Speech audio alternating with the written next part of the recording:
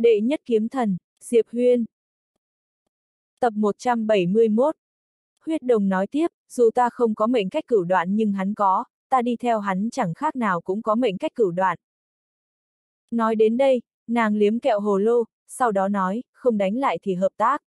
Ông xem đi, dưới tình huống bình thường, có lẽ ta không thể nào đạt tới thần linh cảnh, nhưng đi theo hắn, chưa đến một tháng ta đã luyện đến thần linh cảnh. Rất nhiều lúc, tu luyện vất vả cũng không có tác dụng gì.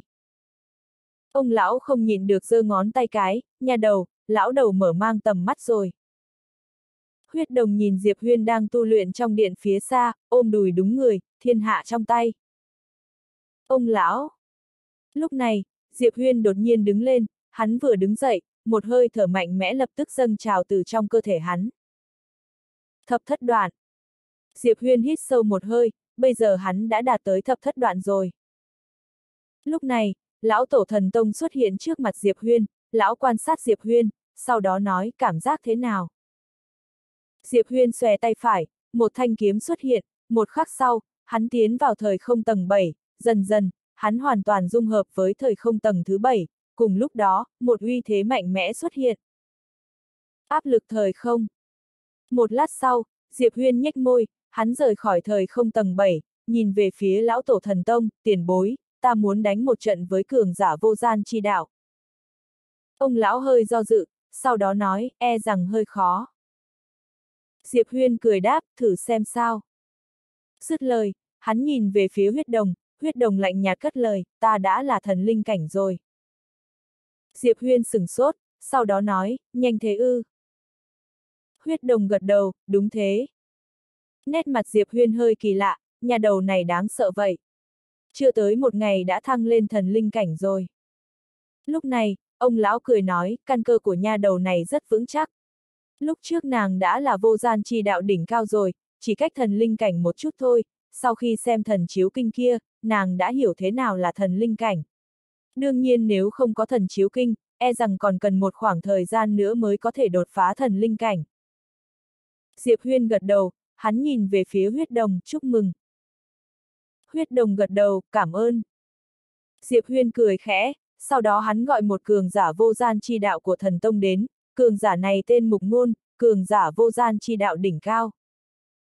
Trong tinh không, Diệp Huyên cầm kiếm đứng thẳng, Mục Ngôn đứng đối diện hắn.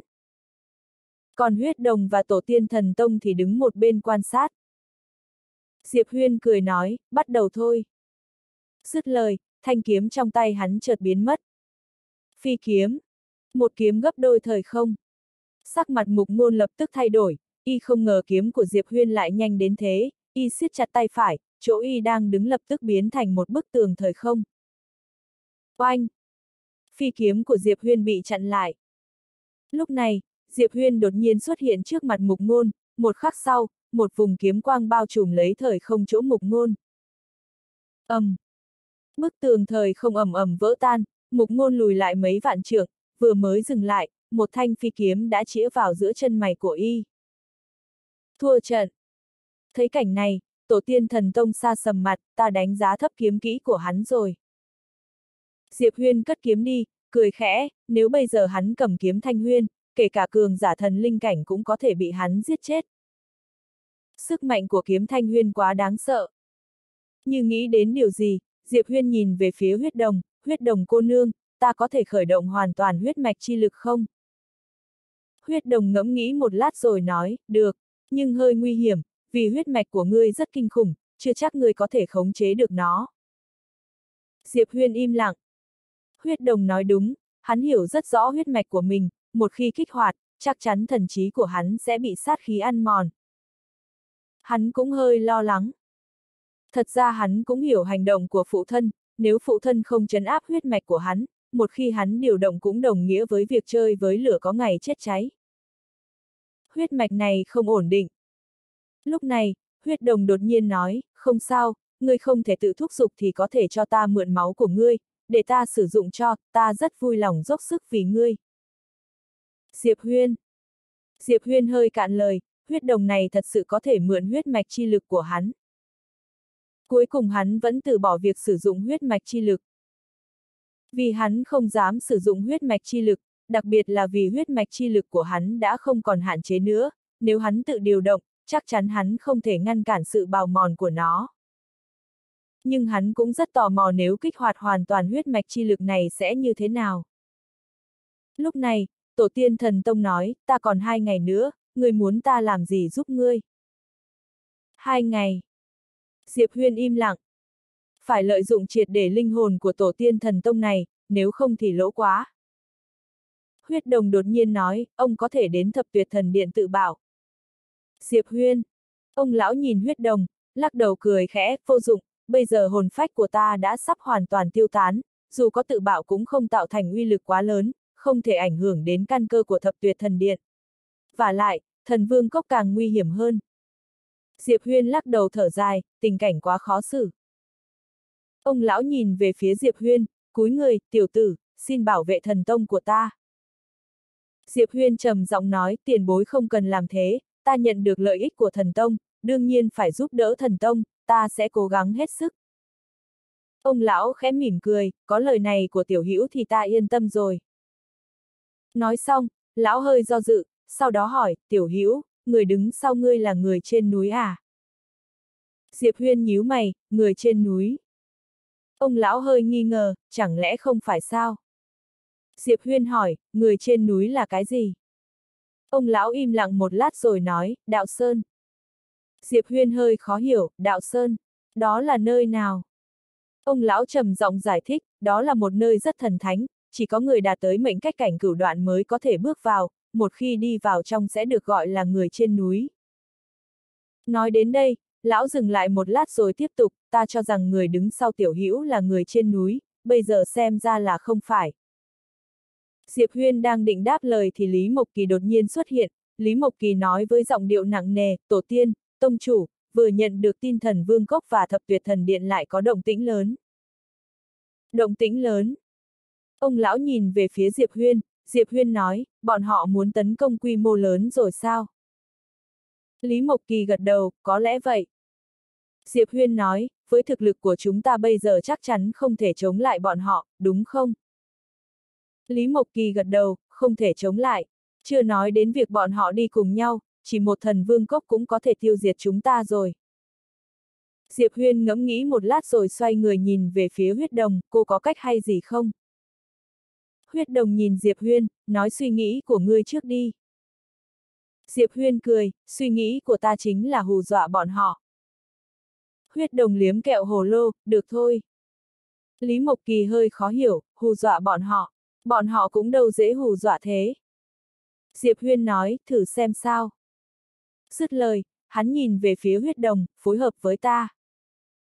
Huyết đồng gật đầu, được. Diệp Huyên nói, vậy bây giờ chúng ta đi tới thần vương cốc thôi. Nghe thấy lời này, Lý Mộc Kỳ sửng sốt, đi đến thần dương cốc. Diệp Huyên gật đầu, chủ động đi. Lý Mộc Kỳ hơi do dự, sau đó cất lời, tông chủ người. Diệp Huyên cười nói, ta không đi thì bọn họ vẫn sẽ đến, không bằng ta chủ động đi. Dứt lời, hắn nhìn về phía tổ tiên thần tông, tiền bối, ông chấn thủ ở đây đi. Tổ tiên thần tông trầm giọng nói, tiểu tử, người có chắc chắn không? Diệp Huyên cười nói, không chắc chắn lắm, nhưng có thể thử xem. Tổ tiên thần tông hơi do dự, sau đó nói, cẩn thận một chút. Diệp Huyên gật đầu, ta biết. Nói xong, hắn và huyết đồng cùng biến mất. Sau khi Diệp Huyên và huyết đồng rời đi, Lý Mộc Kỳ trầm giọng nói, tổ tiên, tông chủ. Ông lão nhẹ giọng nói, tin tưởng hắn đi. Trên đường đi, Diệp Huyên nhìn về phía huyết đồng, cô cảm thấy chúng ta sẽ thành công chứ. Huyết đồng liếm kẹo hồ lô, phải xem ngươi có biết khoác lác không thôi. Diệp Huyên cười đáp, đây là sở trường của ta. Huyết đồng nhìn Diệp Huyên, không nói gì. Một canh giờ sau, hai người đã đến thần vương cốc. Vừa mới tới thần vương cốc, một cô gái đã xuất hiện trước mặt hai người, người đó chính là Mâu Hy, yêu nghiệt đứng đầu thế hệ trẻ của thần vương cốc. Mâu Hy nhìn Diệp Huyên, Diệp Tông chủ đến thần vương cốc của chúng ta có chuyện gì? Diệp Huyên cười đáp, cô nương, ta muốn gặp cốc chủ của các cô. Mâu Hy lắc đầu, cốc chủ đang bế quan, không gặp ai cả. Diệp Huyên cười nói, chuyện này có liên quan đến sống chết của thần vương cốc đấy. Mâu Hy hít mắt, chuyện liên quan đến sống chết của thần vương cốc ta. Diệp Huyên gật đầu. Mâu Hy cười khẽ, Diệp Tông chủ muốn uy hiếp thần vương cốc ta sao? Diệp Huyên đi tới trước mặt Mâu Hy, sau đó cười nói, cô nương, cô thật sự không cho ta gặp cốc chủ của các cô à? Mâu Hy nhìn chằm chằm Diệp Huyên, nếu thật sự không cho ngươi gặp thì sao? Diệp Huyên gật đầu, vậy thần tông ta hoan nghênh cô đến tấn công. Nhớ mang nhiều người đấy nhé. Nói xong, hắn xoay người rời đi. Mâu Hy nhìn Diệp Huyên, không nói gì. Lúc này, một giọng nói vang lên từ sâu trong thần vương cốc, mời Diệp Tông chủ vào. Diệp Huyên dừng bước, hắn dẫn huyết đồng xoay người đi về phía thần vương cốc. Lúc đi ngang qua Mâu Hy, Mâu Hy đột nhiên nói, người không cứu được thần tông đâu. Diệp Huyên nhìn Mâu Hy, ta là đang cứu thần vương cốc của cô. Dứt lời, hắn dẫn theo huyết đồng biến mất ở phía xa. Mâu Hy im lặng một lát rồi xoay người rời đi. Trong một thụ điện ở thần vương cốc, Diệp Huyên gặp một cô gái, cô gái mặc váy dài màu xanh phỉ thúy, tay cầm một quả cầu sáng màu xanh biếc, trong quả cầu là một dãy núi. Người này chính là cốc chủ đương nhiệm của thần vương cốc hiện tại mộ cốc. Đây cũng là một cường giả mệnh cách cảnh chân chính. Mộ cốc nhìn huyết đồng, sau đó nhìn về phía Diệp Huyên, cho ta một lý do để không giết ngươi. Diệp Huyên cười, nếu tiền bối muốn giết thì cứ giết đi. Mộ cốc đứng dậy đi tới trước mặt Diệp Huyên, hơi nhếch môi, huyết mạch đặc biệt mệnh cách cửu đoạn trời sinh. Đây chính là lý do để người dám tới đây à? Mệnh cách cửu đoạn trời sinh. Nghe thấy lời của mộ cốc, sắc mặt mâu hy thoáng chốc thay đổi. Phải biết rằng ả à ta cũng là mệnh cách trời sinh, nhưng ả à ta chỉ là tam đoạn mà thôi, mà người trước mặt lại là cửu đoạn. Diệp Huyên cười khẽ, đang định đáp lời thì mộ cốc chợt nói, nhân loại, người muốn cho ta biết lai lịch bất phàm của mình, để ta ném chuột sợ vỡ bình đúng không? Nghe thấy lời này, trong lòng Diệp Huyên dâng lên cảm giác bất an. Mộ cốc lại nói, lúc trước, ta cũng cho rằng ngươi là người trên núi, vì thế còn từng cố ý điều tra, nhưng ta phát hiện ngươi không phải người trên núi, ngươi đến từ một vũ trụ có nền văn minh cấp thấp. Ta không biết vì sao một vũ trụ như thế lại xuất hiện một người mệnh cách cửu đoạn, nhưng đối với ta, chỉ cần ngươi không phải người trên núi là được. Nói đến đây, nàng ta khẽ mỉm cười, có lẽ ngươi không biết, bây giờ ngươi đã trở thành mục tiêu của những người trên núi kia. Mệnh cách cửu đoạn trời sinh, còn có huyết mạch đặc biệt, cả người ngươi đều là bảo vật đấy. Diệp Huyên cười nói, cô đừng dọa ta. Mộ cốc chớp mắt, ngươi thấy ta giống như đang dọa ngươi sao? Audio điện tử võ tấn bền. Nói xong, nàng ta đến gần Diệp Huyên, sau đó nói, ta không dám động vào ngươi, nhưng những người dám động vào ngươi đang trên đường đến đây rồi. Diệp Huyên không nói gì, lúc này, tiểu tháp đột nhiên cất lời, hay quá, tiểu chủ, kẻ thù của người lại thăng cấp rồi. Diệp Huyên. Mộ cốc đột nhiên cười nói, Diệp Tông chủ, thần vương cốc của ta phong cảnh hữu tình, người có thể đi tham quan một chút. Chúc ngươi chơi vui vẻ. Nói xong, nàng xoay người rời đi. Trong thụ điện chỉ còn lại Diệp Huyên và huyết đồng. Diệp Huyên ngồi xuống một bên, sau đó nói, người trên núi thấp nhất cũng là mệnh cách cửu đoạn. Huyết đồng, cô thấy thế nào? Huyết đồng liếm kẹo hồ lô trốn, đợi thời cơ hành động. Trốn. Diệp Huyên hỏi, thần tông phải làm sao? Huyết đồng nhìn Diệp Huyên, mục tiêu của bọn họ vốn là thần tông, nhưng bây giờ, mục tiêu của bọn họ là ngươi. Ngươi trốn rồi, thần tông sẽ an toàn hơn. Vì ngươi chưa chết, nữ nhân khi nãy cũng không dám động vào thần tông. Nàng ta sẽ đứng nhìn xem ngươi và người trên núi ai có thể cười đến cuối cùng. Cho nên trốn thôi. Diệp Huyên hơi do dự, sau đó nói, cứ thế trốn mất có phải hơi mất mặt không? Huyết đồng ngẫm nghĩ rồi đáp, chúng ta không phải trốn, mà là rút lui có tính chiến thuật. Nghe vậy, Diệp Huyên gật đầu, được, chúng ta rút lui có tính chiến thuật. Nói xong, hai người đứng dậy rời khỏi thụ điện. Dưới một gốc cổ thụ, mộ cốc nhìn Diệp Huyên và huyết đồng rời đi ở phía xa, cười không nói gì. Mâu Hy bên cạnh mộ cốc trầm giọng hỏi, sư phụ, vì sao lại thả bọn họ đi? Mộ cốc nhẹ giọng đáp, hắn không phải người trên núi, nhưng chắc chắn chúng ta cũng không thể động vào, chúng ta chỉ cần đợi nghêu cỏ tranh nhau, ngư ông đắc lợi là được. Nói đến đây, nàng ta đột nhiên ngẩng đầu, người của thập tuyệt thần điện đến. Diệp Huyên và huyết đồng dừng lại ở chân trời phía xa, vì một người đàn ông trung niên đang chắn trước mặt bọn họ, chính là điện chủ mộ khâu của thập tuyệt thần điện. Bên cạnh mộ khâu còn có 5 cường giả thần linh cảnh và 12 cường giả vô gian chi đạo. Mộ khâu nhìn Diệp Huyên, muốn đi à? Diệp Huyên chỉ xuống thần vương cốc bên dưới, ông biết vì sao bọn họ không giết ta không? Mộ khâu híp mắt, người có ý gì? Diệp Huyên tức giận mắng, cái tên ngu xuẩn này. Ông có thể thông minh hơn một chút không? Vì sao ông đây có thể trở thành tông chủ thần tông? Vì sao cốc chủ của thần vương cốc không dám giết ta? Mộ khâu nhìn chằm chằm Diệp Huyên, Diệp Huyên tiếp tục tức giận mắng, ông nhìn cái khỉ gì? Làm việc có thể có đầu óc một chút không? Lão tử có huyết mạch lợi hại như thế, ông không cảm nhận được sao? Dùng cái óc lợn của ông suy nghĩ xem, lão tử có huyết mạch thế nào, phụ thân của ta có thể là người bình thường không? Có thể không, à còn nữa, lão tử còn có mệnh cách cửu đoạn trời sinh đấy. Ông suy nghĩ kỹ đi, người bình thường có thể có mệnh cách cửu đoạn trời sinh không? Có thể không? Huyết đồng bên cạnh Diệp Huyên kéo ống tay áo của hắn, người kiêu ngạo quá rồi. Diệp Huyên nổi giận, ta rất tức giận. Nói xong, hắn chỉ về phía mộ khâu, loại người có chỉ số thông minh giống như thiên diệp thế này, lão tử thấy chướng mắt. Mộ khâu nổi giận nói, Diệp Huyên, ngươi chỉ là một kẻ có người chống lưng thôi, ngươi có gì mà kiêu ngạo chứ? Hả, ngươi có tư cách gì để kiêu ngạo? Diệp Huyên quát lại, lão tử cũng muốn cố gắng mà. Nhưng lão tử sinh ra đã có huyết mạch vô địch, phụ thân vô địch, muội muội vô địch, đại ca vô địch, ta có thể làm gì được? Ta cũng muốn dựa vào sức bản thân mình cố gắng chống lại thiên hạ, ta cũng muốn khiêm tốn mà.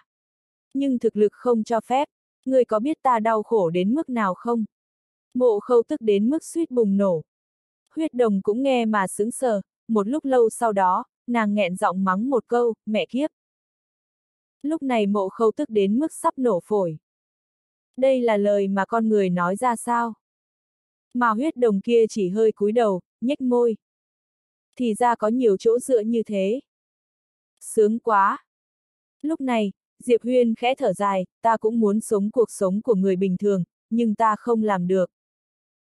Nói xong, hắn nhìn mộ khâu, ta đau khổ lắm, ông có hiểu không? Mộ khâu nhìn chằm chằm Diệp Huyên, ánh mắt sắc bén như kiếm, giống như muốn lột ra dóc thịt Diệp Huyên vậy. Diệp Huyên nhún vai, đến đây, giết chết ta đi, ta không đánh trả đâu. Mộ khâu siết chặt hai tay, cả người đều đang run rẩy. Diệp Huyên nổi giận, nhìn cái gì? Đến giết ta đi, ông đến đây. Nét mặt mộ khâu trở nên dữ tợn. Diệp Huyên nổi giận, lão tử xin ông giết chết đấy. Huyết đồng. Mộ khâu đột nhiên bình tĩnh lại, gã nhìn xuống thần vương cốc bên dưới, sau đó nhìn về phía Diệp Huyên, ta cứ không giết người đấy, cho người tức chết. Nói xong, gã dẫn theo cường giả của thập tuyệt thần điện rời đi. Diệp Huyên nhìn về phía huyết đồng, khẽ thở dài, làm một kẻ có người chống lưng thật sự rất đau khổ, thật đấy. Huyết đồng đột nhiên đấm một phát vào mặt Diệp Huyên. Bốp! Diệp Huyên bay ra xa nghìn trường.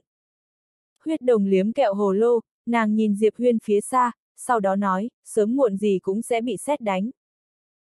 Diệp Huyên. Bên kia, sắc mặt mộ khâu vô cùng khó coi. Một trưởng lão của thập tuyệt thần điện bên cạnh mộ khâu trầm giọng nói, điện chủ, Diệp Huyên này thật sự quá kiêu ngạo. Mộ khâu lạnh lùng nói, hắn có tư cách để kiêu ngạo. Thần vương cốc không động vào hắn chắc chắn là có điều kiêng rẻ. nếu thập tuyệt thần điện động vào hắn, e rằng chết thế nào cũng không biết. Trưởng lão hỏi, vậy chúng ta phải làm sao? Mộ khâu im lặng một lát rồi đáp, yên lặng theo dõi tình hình, thần dương cốc không ra tay thì chúng ta cũng không ra tay. Dứt lời, gã xoay người rời đi. Diệp Huyên và huyết đồng trở lại thần tông, Diệp Huyên lại tiếp tục tu luyện, bây giờ, hắn đã bắt đầu thử tiến vào thời không tầng 8. Vô gian thời không. Vừa tiến vào thời không tầng 8, hắn đã cảm nhận được áp lực thời không cực kỳ đáng sợ, chẳng những thế, trước mặt hắn còn có một người giống hệt hắn. Lúc này, tổ tiên thần tông xuất hiện bên cạnh Diệp Huyên, lão nhìn Diệp Huyên, biết vô gian là gì không? Diệp Huyên lắc đầu. Tổ tiên thần tông nghiêm túc giải thích, vô gian chính là thời gian vô gian, không gian vô gian, trong thời không đó, thời gian và không gian đều là vô hạn, chẳng những thế còn tựa như mặt gương, thật ra người giống hệt ngươi mà ngươi nhìn thấy chính là bản thân ngươi. Nói xong, lão mở lòng bàn tay, vung nhẹ một cái, trong nháy mắt có vô số người giống lão xuất hiện. Diệp Huyên hơi ngạc nhiên, đây là... Tổ tiên thần tông nói, một tầng thời không đều có một tầng trời, điểm cốt lõi nhất của thời không tầng 8 chính là sao chép ảnh phản chiếu, có thể lợi dụng thời không để tạo ra ảnh phản chiếu, đương nhiên muốn làm được điều này là rất khó, dù là cường giả thần linh cảnh cũng khó mà làm được. Diệp Huyên hơi khó hiểu, sao lại khó? Tổ tiên thần tông nói, vì đầu tiên phải dung hợp với thời không tầng 8, sau đó lợi dụng đặc thù của thời không tầng 8 để phục chế ảnh phản chiếu, muốn làm được điều này thì ít nhất phải là mệnh cách cảnh. Còn thần linh cảnh chỉ có thể sử dụng chức năng như áp lực thời không và gấp thời không mà thôi. Nói đến đây, lão im lặng một lát rồi mới nói tiếp, với thực lực của ngươi bây giờ, muốn dung hợp với thời không tầng 8 là rất khó. Diệp Huyên khẽ thở dài. Lúc này, hắn cảm thấy rất khó khăn. Nếu kẻ thù đều có cùng cảnh giới, hắn thật sự không sợ, nhưng vấn đề là kẻ thù đều mạnh hơn hắn mấy cấp bậc. Phải biết rằng, bây giờ cả những người trên núi gì đó đều đã chú ý đến hắn, mà cảnh giới thấp nhất của những người đó cũng là mệnh cách cửu đoạn. Mệnh cách cảnh cửu đoạn. Sao mà đấu lại đây? Bây giờ hắn cảm thấy hơi bất lực. Lúc này, Lý Mộc Kỳ xuất hiện, ông ấy trầm giọng nói, thần vương cốc và thập tuyệt thần điện đều không còn động tĩnh nữa. Diệp Huyên nhẹ giọng nói, bọn họ đang đợi người trên núi xuống. Tổ tiên thần tông trầm giọng nói, tiểu tử, người có mệnh cách cửu đoạn trời sinh, quá có sức hấp dẫn với những người trên núi kia. Thập tuyệt thần điện và thần vương cốc không dám động vào ngươi, nhưng những người trên núi thì không kiêng rè điều gì cả. Diệp Huyên nhìn tổ tiên thần tông, tiền bối có hiểu biết gì về đạo Sơn không? Tổ tiên thần tông lắc đầu, không nhiều, vì năm đó ta chưa từng lên núi. Diệp Huyên hơi khó hiểu, vì sao? Tổ tiên thần tông tỏ vẻ bất đắc dĩ, vì không có tư cách. Diệp Huyên. Một lát sau, tổ tiên thần tông và Lý Mộc Kỳ rời đi. Diệp Huyên ngồi xếp bằng dưới đất, im lặng suy nghĩ. Hắn đã có thể đoán được tình tiết tiếp theo, người trên núi xuống tìm hắn, hắn không đánh lại, thời khắc mấu chốt liên quan đến sống chết, có thể là phụ thân xuất hiện, cũng có thể là thanh nhi hoặc đại ca. Dù sao lúc trước lần nào cũng thế. Số mệnh của Diệp Huyên hắn như đã bị sắp xếp từ trước rồi vậy. Dựa vào bản thân. Hắn rất muốn dựa vào bản thân, nhưng trước mắt, dù kiếm thanh huyên có giải phong ấn, chắc chắn hắn cũng không đánh lại cường giả mệnh cách cảnh cửu đoạn, vì hoàn toàn không cùng một đẳng cấp, trừ khi huyết mạch hoàn toàn giải phong ấn, nhưng ngoài phụ thân và thanh nhi, không ai có thể hoàn toàn giúp hắn giải phong ấn huyết mạch chi lực, dù có giải phong ấn, với thực lực của hắn cũng không thể khống chế được huyết mạch phong ma đáng sợ kia. Diệp Huyên im lặng suy nghĩ một lúc, phụ thân, con cũng muốn dựa vào bản thân để giải quyết mọi chuyện, nhưng kẻ thù quá mạnh, con thật sự không làm được. Con biết cha không muốn con làm một người chỉ biết dựa dẫm, cha yên tâm, con sẽ không dựa vào cha nữa. Nói xong, hắn đứng dậy rời đi. Tiểu tháp chợt hỏi, tiểu chủ, người thật sự không dựa vào phụ thân nữa sao? Diệp Huyên gật đầu, không thể dựa vào cha mãi được.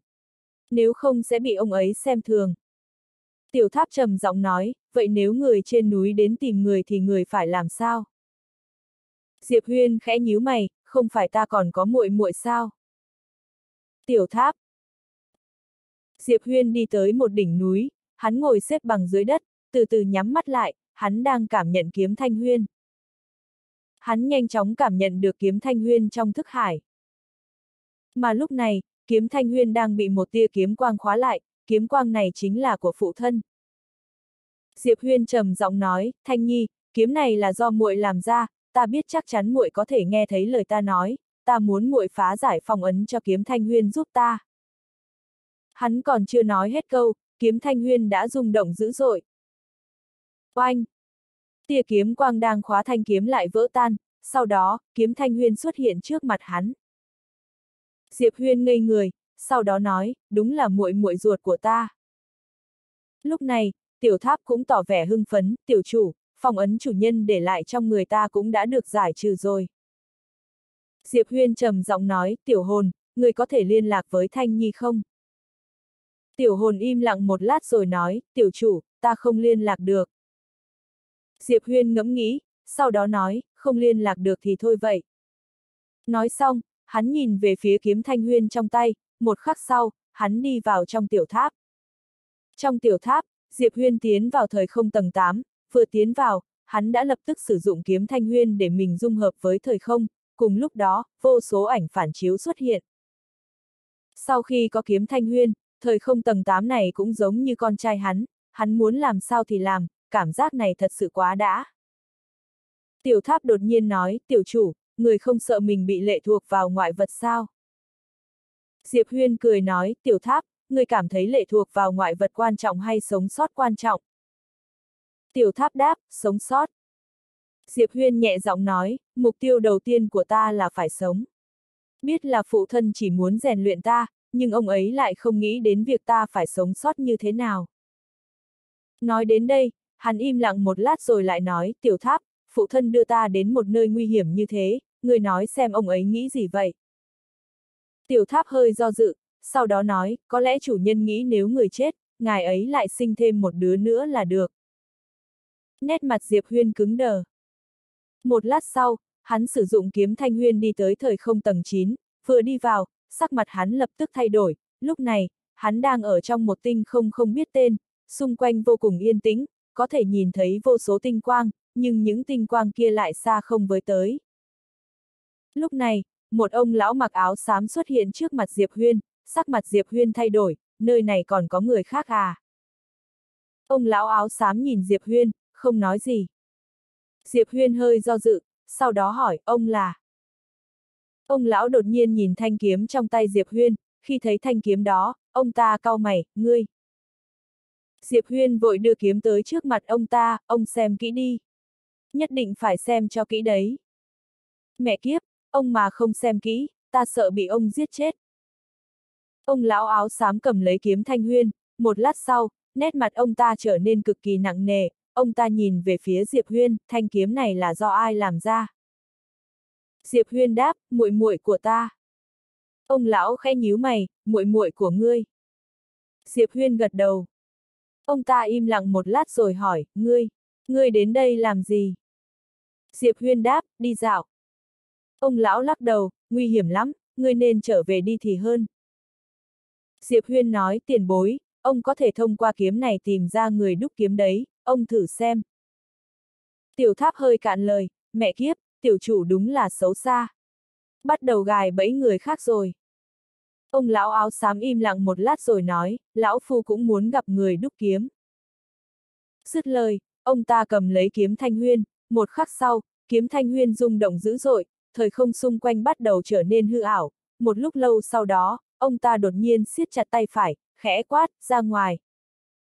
Ông ta vừa dứt lời, không gian trước mặt đột nhiên nứt ra, một khắc sau, có tia kiếm quang đột nhiên đâm vào giữa chân mày ông ta, cùng lúc đó, thời không tầng 9 trong phạm vi mấy trăm dặm cũng lập tức sụp đổ. Ông lão áo xám trợn tròn mắt, trong mắt đầy vẻ khó tin. Mình bị người khác giết chết trong nháy mắt. Vào lúc ông lão áo xám sắp hoàn toàn biến mất, Diệp Huyên vội vàng hô to, Thanh Nhi, nương tay đi, vị tiền bối này là người của ta, người phe ta. Hắn vừa dứt lời, kiếm quang giữa chân mày ông lão đột nhiên biến mất. Nét mặt ông lão áo xám cứng đờ, trực giác cho ông ta biết, hình như ông ta bị gài bẫy. Lúc này, ông lão áo xám đang vô cùng khiếp sợ. Vào khoảnh khắc khi nãy, ông ta suýt bị giết chết. Thậm chí còn không có khả năng đánh trả. Phải biết rằng ông ta có thực lực mệnh cách cảnh thập đoạn đấy. Hơn nữa còn là mệnh cách cảnh thập đoạn chân chính. Lúc này, Diệp Huyên đột nhiên nói, tiền bối, ông không sao chứ. Ông lão áo xám lấy lại tinh thần, ông ta do dự một lúc rồi nói, không dám nhận hai chữ tiền bối, tại hạ diêu quân, người duy trì trật tự thời không tầng 9. Diệp Huyên chắp tay, lão quân, Thanh Nhi ra tay không biết nặng nhẹ, việc này. Diêu quân vội vàng lắc đầu, không không, là ta sai, là ta mạo phạm vị tiền bối kia, là lỗi của ta. Dứt lời, ông ta do dự một lát rồi nói, tiểu hữu vị tiền bối kia là thần thánh phương nào vậy? Diệp Huyên cười hỏi, ông nghĩ sao? Siêu quân im lặng. Thật ra khi nãy ông ta vẫn chưa tìm thấy cô gái váy trắng, nhưng đối phương đã có thể cảm nhận được ông ta rồi, mà đối phương không biết đã cách bao nhiêu vũ trụ vung một kiếm, sau đó ông ta suýt bị giết chết. Sức mạnh này đã hoàn toàn vượt khỏi nhận thức của ông ta. Mà đây cũng là điều ông ta sợ hãi nhất, phải biết rằng bây giờ ông ta là mệnh cảnh thập đoạn, cường giả siêu cấp chân chính, dù không thể nói là vô địch nhưng cũng là tồn tại ít có đối thủ. Nhưng hắn lại suýt bị giết chết trong nháy mắt. Quá đáng sợ. Diệp Huyên đột nhiên hỏi, lão quân, khi nãy ông nói ông là người duy trì trật tự thời không tầng 9 sao? Diêu quân gật đầu, phải. Diệp Huyên hỏi, ông trông coi thời không này à? Diêu quân vội vàng lắc đầu, không, ta chỉ là một người giữ trật tự thời không thôi. Người trông coi thời không chân chính là thần điện thời không. Diệp Huyên nhíu mày, thần điện thời không. Diêu quân gật đầu, thời không tầng 9 rất phức tạp, vì trước mắt, thời không này là vô hạn, vô cùng vô tận, mật độ của nó cũng rất dày đặc, chẳng những không thể gấp đôi còn không thể xoắn vặn. Thời không này giống như cố định vậy, mà thần điện thời không là nơi có những người chuyên nghiên cứu về thời không tầng 9. Diệp Huyên trầm giọng nói, nói cách khác là không có thời không tầng 10 à. Diêu quân gật đầu, trước mắt chúng ta vẫn chưa phát hiện ra. Diệp Huyên im lặng một lát rồi nhìn về phía kiếm thanh huyên trong tay, tiểu hồn, người có thể cảm nhận được thời không tầng 10 không? Tiểu hồn khẽ rung, sau đó nói, có thể cảm nhận được. Diệp Huyên đang định đáp lời thì Diêu quân tỏ vẻ khó tin, không thể nào. Chắc chắn không có khả năng đó. Diệp Huyên cười nói, vì sao lại không thể? Diêu quân nói với giọng điệu nặng nề, thần điện thời không ta nghiên cứu thời không tầng 9 đã rất lâu rồi, nhưng chúng ta không hề phát hiện ra thời không tầng 10, đây. Diệp Huyên đột nhiên hỏi, tiền bối, rất khó để xoắn vạn thời không tầng 9 này sao? Diêu quân gật đầu, rất khó khăn, theo chúng ta thì đây hoàn toàn là chuyện không thể, vì mật độ của thời không này thật sự quá dày. Lúc này, Diệp Huyên đột nhiên chĩa kiếm Thanh Huyên về phía trước, không gian trước mặt hắn lập tức bị vặn vẹo. Thấy cảnh này, Diêu quân như bị sét đánh sững sờ tại chỗ. Diệp Huyên khẽ mỉm cười, lão quân, hình như cũng không khó lắm mà. Diêu quân. Lúc này, sắc mặt Diêu quân vô cùng nặng nề, trong lòng cũng giống như rời sông lấp biển. Không ngờ người trước mặt lại có thể xoắn vặn thời không tầng 9. Thật sự quá đáng sợ. Diệp Huyên đột nhiên hỏi, lão quân, ông biết đạo Sơn không? Diêu quân gật đầu, có biết chút ít, sao vậy? Diệp Huyên cười nói, không có gì, chỉ là có chút khúc mắc với bọn họ, bọn họ muốn cướp đi mệnh cách của ta. Diêu quân ngây người, sau đó ngạc nhiên nói, sao bọn họ dám? Diệp Huyên khẽ thở dài, thực lực yếu kém, đương nhiên sẽ bị xem thường rồi. Diêu quân nhìn Diệp Huyên, sau đó nói tiểu hữu nếu vị tiền bối khi nãy ra tay, chỉ cần nàng búng tay một cái, đạo sơn không phải sẽ tan thành mây khói hay sao? Diệp Huyên nghiêm túc nói, sao ta có thể dựa vào người khác được? Ta phải dựa vào bản thân mình. Diêu quân. Diệp Huyên lại hỏi, lão quân, ta phải đi rồi. Diêu quân hơi do dự, sau đó nói, tiểu hữu bảo trọng. Diệp Huyên gật đầu rồi xoay người biến mất. Sau khi Diệp Huyên rời đi, Diêu quân cũng rời đi, ông ta nhanh chóng đi tới thần điện thời không, trong đại điện có gần trăm cái trận truyền tống thời không, trên đại điện có một người đàn ông trung niên đang ngồi. Người này chính là điện chủ của thần điện thời không Tư Thiên. Diêu quân đi tới trước mặt Tư Thiên cung kính cúi chào, sau đó kể lại chuyện trước đó. Tư Thiên buông quyển cổ tịch trong tay xuống, nhìn về phía Diêu quân, khẽ nhíu mày, ông suýt bị người ta giết chết trong nháy mắt từ một nơi cách vô số vũ trụ ư. Diêu quân gật đầu, đúng thế. Quan trọng nhất là thiếu niên kia có thể xoắn vạn thời không tầng 9, hơn nữa còn dễ như trở bàn tay. Tư thiên híp mắt, thật sao? Diêu quân trầm giọng nói, thật sự, nhưng có lẽ là hắn dựa vào thanh kiếm trong tay mình. Tư thiên lập tức đứng dậy, bây giờ hắn đang ở đâu? Diêu quân đáp, hắn đi rồi. Tư thiên ngây người, sau đó nổi giận, đi rồi. Sao ngươi có thể để hắn đi được? Siêu quân cười khổ, hắn nói hắn muốn đi, ta không dám ngăn cản. Ta sợ hắn cho người đánh chết ta. Tư thiên. Diêu quân do dự một lát, sau đó nói, tư thiên điện chủ, rốt cuộc thiếu niên kia là thần thánh phương nào. Tư thiên lắc đầu, sao ta biết được. Nói xong, hắn nhìn về phía diêu quân, lập tức tìm thiếu niên kia, nếu tìm thấy, mời hắn tới thần điện thời không. Diêu quân trầm giọng nói, còn một chuyện nữa, thiếu niên kia nói đạo sơn để mắt tới hắn. Muốn cướp đi mệnh cách của hắn. Tư thiên nhíu mày, đạo sơn bị điên rồi sao? Siêu quân đáp, có lẽ đạo sơn vẫn chưa biết thực lực của người đứng sau hắn. Điện chủ, nếu đạo sơn thật sự ra tay với hắn thì chúng ta nên làm sao? Yên lặng quan sát tình hình, hay là... Tư thiên im lặng một lúc rồi nói, nếu thiếu niên kia có thể tự giải quyết thì chúng ta không cần nhúng tay vào, còn không thì chúng ta sẽ ra tay. Siêu quân nhíu mày, đắc tội với đạo sơn sao? Tư thiên nhẹ giọng đáp, đáng giá. Siêu quân gật đầu, ta hiểu rồi. Sau đó, ông ta xoay người rời đi. Sau khi rời khỏi thời không tầng 9, Diệp Huyên đi vào tiểu tháp bắt đầu tu luyện. Bây giờ tiểu tháp đã được giải phong ấn, bên trong 10 năm, bên ngoài một ngày, bây giờ hắn có thể dựa vào tiểu tháp để kéo gần khoảng cách giữa mình và kẻ thù. Sau khi có kiếm thanh huyên, Diệp Huyên lập tức dung hợp với thời không tầng 8, chẳng những thế, hắn còn có thể miễn dịch với lực lượng thời không của thời không tầng 8, quan trọng nhất là sau khi sử dụng kiếm thanh huyên, hắn có thể gấp thời không lại 4 lần. Nói cách khác, bây giờ dù hắn chỉ mới có thập thất đoạn, nhưng hắn đã có thể giết chết thần linh cảnh, thậm chí còn có thể đấu một trận với mệnh cách cảnh. Nhưng vấn đề là người trên núi thấp nhất cũng là mệnh cách cửu đoạn mà. Nghĩ đến việc này, hắn lại thấy đau đầu. Nhưng bây giờ hắn cũng không thể nghĩ nhiều nữa, việc cấp bách là phải nâng cao thực lực của mình. Có kiếm thanh huyên và tiểu tháp, muốn nâng cao thực lực là một chuyện vô cùng đơn giản.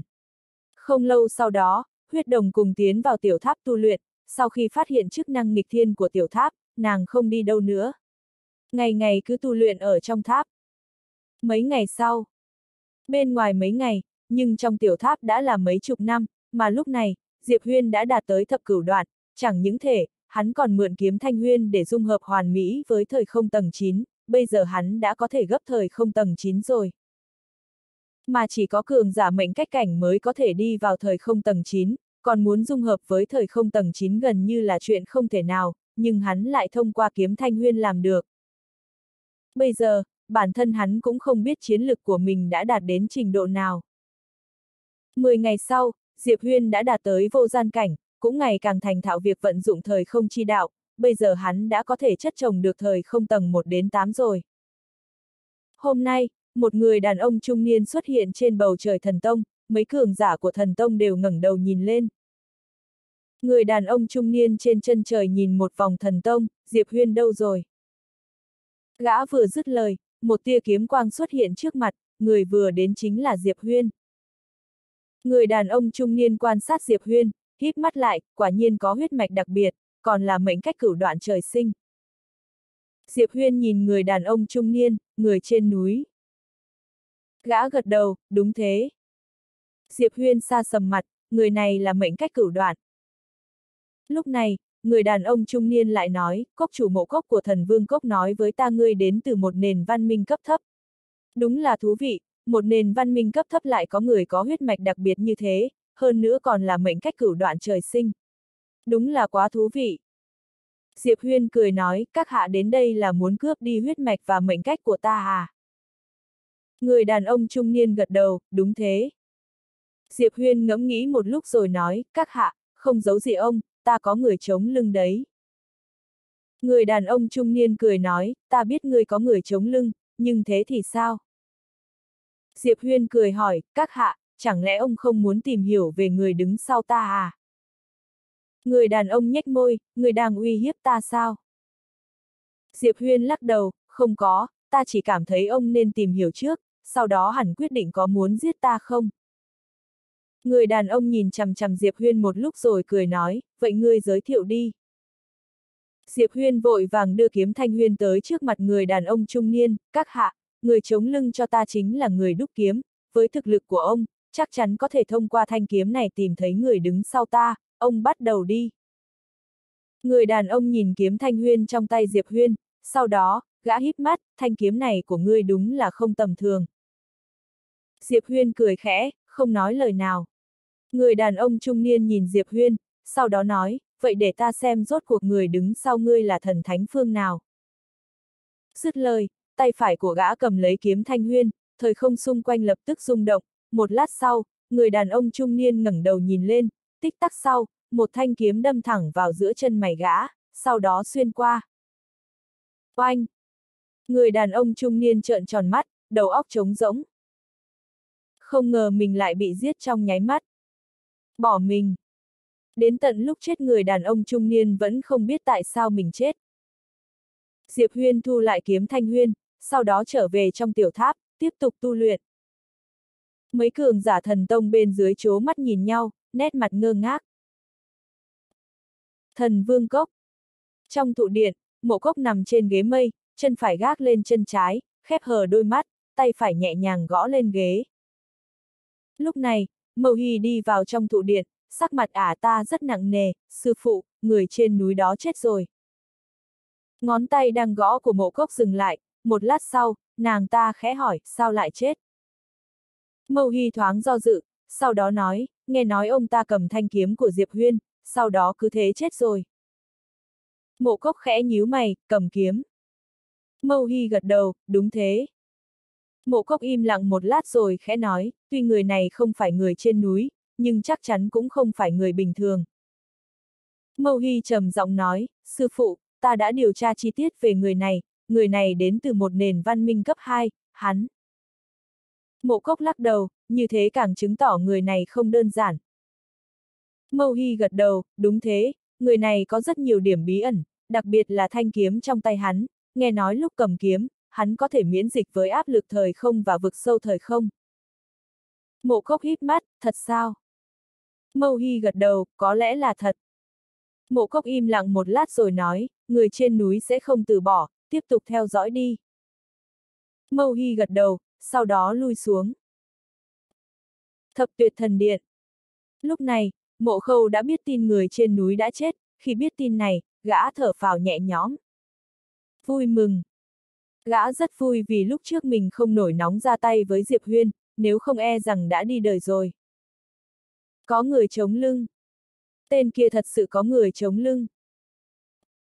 Trong tiểu tháp, Diệp Huyên đang tu luyện đột nhiên dừng lại, một khắc sau, hắn biết mất, lúc xuất hiện một lần nữa đã ở trước mặt huyết đồng.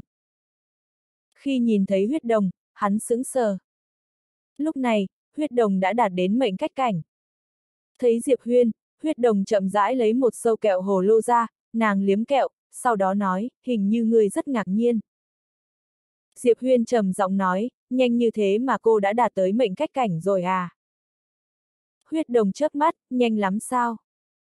Diệp Huyên ngây người, sau đó lắc đầu cười khẽ, bây giờ hắn chợt nghĩ ra, dù bên ngoài mới 7-8 ngày trôi qua, nhưng trong tiểu tháp đã là 7-8 chục năm rồi. Có điều dù là thế thì vẫn quá nhanh. Huyết đồng này không đơn giản. Huyết đồng đột nhiên nói, người đạt tới nhị thập đoạn rồi. Diệp Huyên gật đầu, bây giờ hắn đã đạt tới nhị thập đoạn, sau khi tiểu tháp được giải phong ấn, tốc độ tu luyện của hắn thật sự nhanh hơn nhiều. Lúc này, huyết đồng đột nhiên mở tay ra, thần chiếu kinh xuất hiện trong tay nàng, nàng nhìn Diệp Huyên, thứ này rất tốt, người có cần không? Diệp Huyên nhìn thần chiếu kinh, hình như cái này vốn là của ta mà. Huyết đồng chớp mắt, sau đó đưa cho hắn, ý ta là nếu ngươi không cần thì đưa nó cho ta. Diệp Huyên nhận lấy thần chiếu kinh, tiểu nha đầu này quá xấu xa. Lúc này, huyết đồng lại nói, có thể cho ta mượn thanh kiếm kia của ngươi một lát không? Diệp Huyên mở lòng bàn tay, kiếm thanh huyên xuất hiện, hắn nhìn huyết đồng, cười nói, người muốn chơi thanh kiếm này à? Huyết đồng gật đầu, chỉ ngắm một lát rồi. Diệp Huyên cười khẽ, sau đó đưa kiếm thanh huyên cho huyết đồng, huyết đồng cầm lấy nó, một lát sau, nàng cao mày, không có phản ứng. Diệp Huyên cười nói, chỉ một mình ta có thể sử dụng thanh kiếm này thôi. Huyết đồng nhìn Diệp Huyên, sau đó trả kiếm lại cho Diệp Huyên, muội muội của ngươi chế tạo cho ngươi à? Diệp Huyên gật đầu. Huyết đồng liếm kẹo hồ lô, sau đó nói, bảo nàng chế tạo cho ta một thanh kiếm với. Diệp Huyên ngây người, sau đó hỏi, tại sao? Huyết đồng nghiêm túc nói, không phải trước kia đã nói với ngươi rồi sao? Phụ thân của ngươi chính là phụ thân của ta, vậy muội muội của ngươi không phải là muội muội của ta sao? Diệp Huyên. Huyết đồng lại hỏi, có vấn đề gì à? Diệp Huyên cười nói, cô thấy sao? Huyết đồng ngẫm nghĩ một lát rồi nói, ta mạnh, ta cũng có thể giúp ngươi đánh nhau. Cho nên ngươi giúp ta chẳng khác nào đang giúp ngươi cả. Diệp Huyên vỗ nhẹ lên bả vai huyết đồng, ta đi tới ngày hôm nay là dựa vào mỗi cái mồm đấy. Nói xong, hắn xoay người rời đi. Huyết đồng đứng tại chỗ liếm kẹo hồ lô, không nói lời nào. Khoảng thời gian tiếp theo, Diệp Huyên bắt đột đột phá vô gian cảnh, thật ra sau khi kiếm thanh huyên giải phong ấn, cảnh giới đã không còn quan trọng với hắn nữa rồi. Ví dụ như thời không tầng 9, kể cả cường giả mệnh cách cảnh thập đoạn cũng không thể lay chuyển, nhưng hắn lại làm được. Nhưng hắn vẫn phải đi qua quá trình này. Còn về vấn đề lệ thuộc vào ngoại vật, hắn đã không còn nghĩ đến nữa rồi, bây giờ hắn chỉ muốn sống sót trước đã. Nếu thật sự làm theo cách của phụ thân, sớm muộn gì hắn cũng sẽ bị thế giới tàn khốc giết chết. Mà Diệp Huyên không biết rằng, lúc này người của thần điện thời không đang điên cuồng tìm hắn. Từ bất cứ một thế giới nào cũng có thể tiến vào thời không tầng 9, vì thế sau khi Diệp Huyên rời khỏi đây, Diêu quân hơi đau đầu. Vì ông ta phát hiện ông ta không hề biết sốt cuộc Diệp Huyên ở vũ trụ nào. Mà sau khi biết Diệp Huyên có thể xoắn vặn thời không tầng 9, tất cả cường giả của thần điện thời không đều xôn xao. Bọn họ nghiên cứu cả đời là vì muốn hiểu rõ thời không tầng 9, nhưng gần như không có tiến triển, thời không tầng 9 này chính là một tấm chắn cho cường giả mệnh cách cảnh, cũng tương đương với việc có cơ hội vượt qua mệnh cách cảnh, đạt tới một độ cao hoàn toàn mới, nhưng bọn họ nghiên cứu biết bao năm, vẫn không hiểu được thời không tầng 9 này, càng đừng nói đến việc dung hợp nó. Mà bây giờ lại có người khiến thời không tầng 9 vặn vẹo. Tất cả cường giả của thần điện thời không đều xôn xao. Trong một thế giới không biết tên, Diêu quân cười khể, nếu ông ta không tìm thấy Diệp Huyên, mấy lão già ở thần điện thời không sẽ thật sự giết chết ông ta. Ông ta cũng hết cách rồi. Lúc trước Diệp Huyên nói muốn đi, không phải ông ta không nghĩ đến việc giữ hắn lại. Nhưng vấn đề là ông ta không dám. Phải biết rằng ông ta đã suýt bị giết chết đấy. Quá khó xử. Một lát sau, Diệu quân xoay người rời đi. Tiếp tục tìm kiếm. Mười ngày sau, một cô gái xuất hiện trong tầng mây trên bầu trời của thần tông, cô gái mặc trường bào màu trắng, buộc tóc đuôi ngựa, mày kiếm mắt phượng, tràn đầy khí phách. Bên cạnh người phụ nữ còn có một người đàn ông mặc áo gấm đứng thẳng tắp, đôi mắt sắc bén như đao phong. Cô gái cười nói, không ngờ thế giới có nền văn minh cấp thấp thế này lại có người có mệnh cách cửu đoạn trời sinh. Dứt lời, nàng ta nhìn người đàn ông bên cạnh mình, Tiêu Vân Huynh, Huynh nghĩ sao? Người đàn ông tên Tiêu Vân cười nói, đúng là không tầm thường, có lẽ người đứng sau người này cũng không tầm thường. Cô gái nhếch môi, con ông cháu cha à? Tiêu Vân cười nói, có huyết mạch đặc biệt, mệnh cách cửu đoạn trời sinh, người thế này không phải con ông cháu cha thì là gì? Xem ra chúng ta phải cẩn thận hơn. Cô gái cười khẽ Tiêu Vân Huynh, nếu nói về thực lực và bối cảnh, người nào có thể so với Huynh? Vừa sinh ra đã có huyết mạch viêm thần mạnh nhất thế gian, hơn nữa còn là mệnh cách lục đoạn trời sinh, quan trọng nhất là huynh còn có thể chất thời không đứng thứ hai thế gian. Nói đến đây, nàng ta lắc đầu cười khẽ, đáng sợ nhất là huynh còn thức tỉnh được minh yêu chi hồn. Tiêu Vân lắc đầu cười khẽ, lâm dược cô nương, cô khen ta như vậy, để ta đoán xem, chắc chắn là cô muốn ta đi thăm dò Diệp Tông chủ này trước, tốt nhất là để hai chúng ta lưỡng bại câu thương, sau đó cô làm ngư ông đắc lợi, có đụng không? Lâm Dược đang định đáp lời thì Tiêu Vân lại nói, Lâm Dược cô nương, ta đùa thôi, sao Lâm Dược cô nương có thể xấu xa như thế được? Chỉ là đùa thôi. Lâm Dược cười nói, Tiêu Vân Huynh nói là lưỡng bại câu thương với Diệp Tông chủ kia. Nhưng ta không cảm thấy Diệp Tông chủ kia có thể uy hiếp được Tiêu Vân Huynh, theo ta biết, hình như cảnh giới Diệp Tông chủ đó chỉ mới là thập thất đoạn, còn không phải thần linh cảnh, mà bây giờ Tiêu Vân Huynh đã là mệnh cách lục đoạn. Còn về người đứng sau Diệp Tông chủ, nếu nói về kẻ chống lưng, ai có thể được như Tiêu Vân huynh chứ? Tiêu Vân cười to, Lâm Dược cô nương, cô tầng bốc ta quá rồi. Lâm Dược nhìn Tiêu Vân, không nói gì. Tiêu Vân cười nói, mệnh cách cửu đoạn trời sinh, hơn nữa còn có huyết mạch đặc biệt, nếu Lâm Dược cô nương lấy được mệnh cách của hắn, sau đó lại hấp thụ hết huyết mạch của hắn, chật chật. Nói đến đây, hắn ta im lặng. Lâm Dược cười khẽ tiêu vân công tử, chẳng lẽ huynh không động lòng sao? Dù huyết mạch viêm tộc của huynh là mạnh nhất, nhưng ta nghe nói huyết mạch của Diệp công tử cũng vô cùng đặc biệt, nếu huynh nuốt chừng huyết mạch của hắn, nói không chừng trong tiêu tộc, huyết mạch của huynh sẽ có thể áp đảo cả tộc đấy. Hơn nữa, Diệp tông chủ này còn có mệnh cách cửu đoạn trời sinh, nếu huynh lấy được nó, chật chật. Nói đến đây, hai người nhìn nhau cười khẽ, ai cũng có suy tính của riêng mình. Lúc này, không gian phía xa đột nhiên rung lên, một khắc sau, một người đàn ông xuất hiện, người đàn ông có mái tóc dài, trên mặt mang theo nụ cười xấu xa. Thấy người đàn ông, Lâm Dược khẽ mỉm cười, thì ra là Dương Phong huynh. Người đàn ông tên Dương Phong cười nói, vốn cứ tưởng ta đến chậm, không ngờ các ngươi vẫn còn chưa ra tay, sao thế, đang đợi ta à? Tiêu Vân cười nói, Dương Phong huynh, hai người chúng ta thấy khá kiêng rẻ nên không dám ra tay. Dương Phong cười ha ha, sao, muốn ta ra tay trước à? Tiêu Vân cười nói, tùy huynh thôi.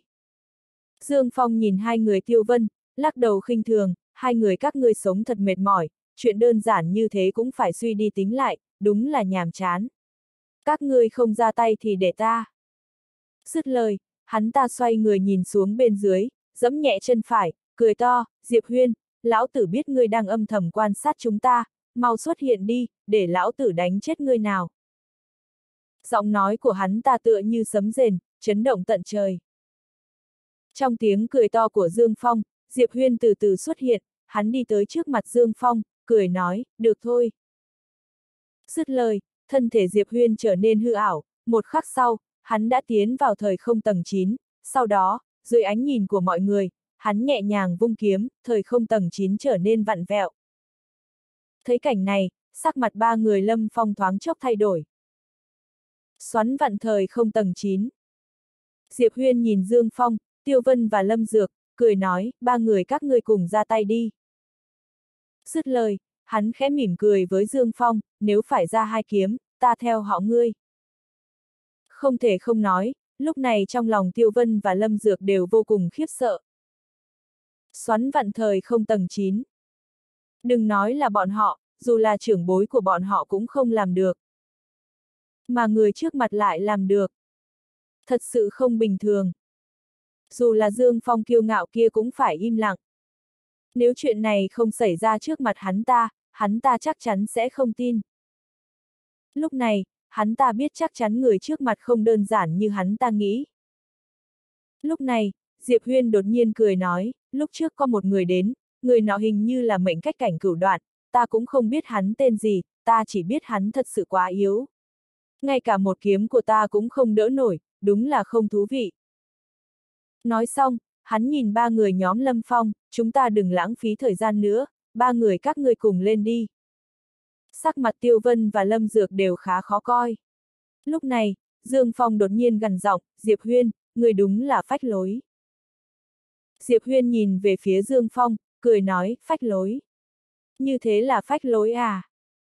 Nói xong, hắn lắc đầu cười khẽ ta sẽ cho ngươi biết cái gì là phách lối. Dứt lời, hắn lập tức dung hợp với thời không tầng 9. Dung hợp trong nháy mắt. Cảnh này khiến ba người nhóm Dương Phong trợn mắt há mồm.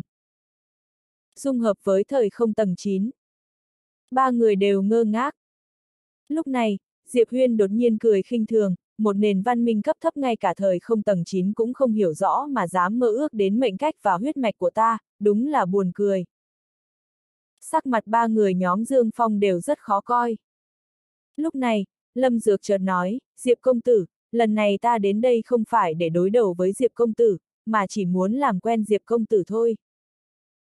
Diệp Huyên nhìn về phía Lâm Dược, làm quen với ta. Lâm Dược khẽ mỉm cười, đúng vậy. Diệp Huyên cười nói, Lâm Dược cô nương, Diệp Huyên ta rất thích kết bạn, chúng ta đổi sang một nơi khác để nói chuyện nhé. Lâm Dược ngây người, sau đó cười nói, được. Sau đó, hai người cùng biến mất. Tiêu Vân và Dương Phong đều mang sắc mặt khó coi. Một lát sau, Tiêu Vân khẽ nói, Lâm Dược cô nương này đúng là biết co được giãn được. Sắc mặt Dương Phong rất nặng nề, hắn ta không nói một lời. Hắn ta chưa từng bị sỉ nhục như thế. Khi nãy hắn ta muốn ra tay, nhưng lý trí vẫn chiến thắng nỗi kích động, tên kia có thể vặn vẹo thời không tầng 9. Chẳng những thế, hắn còn có thể dung hợp với nó.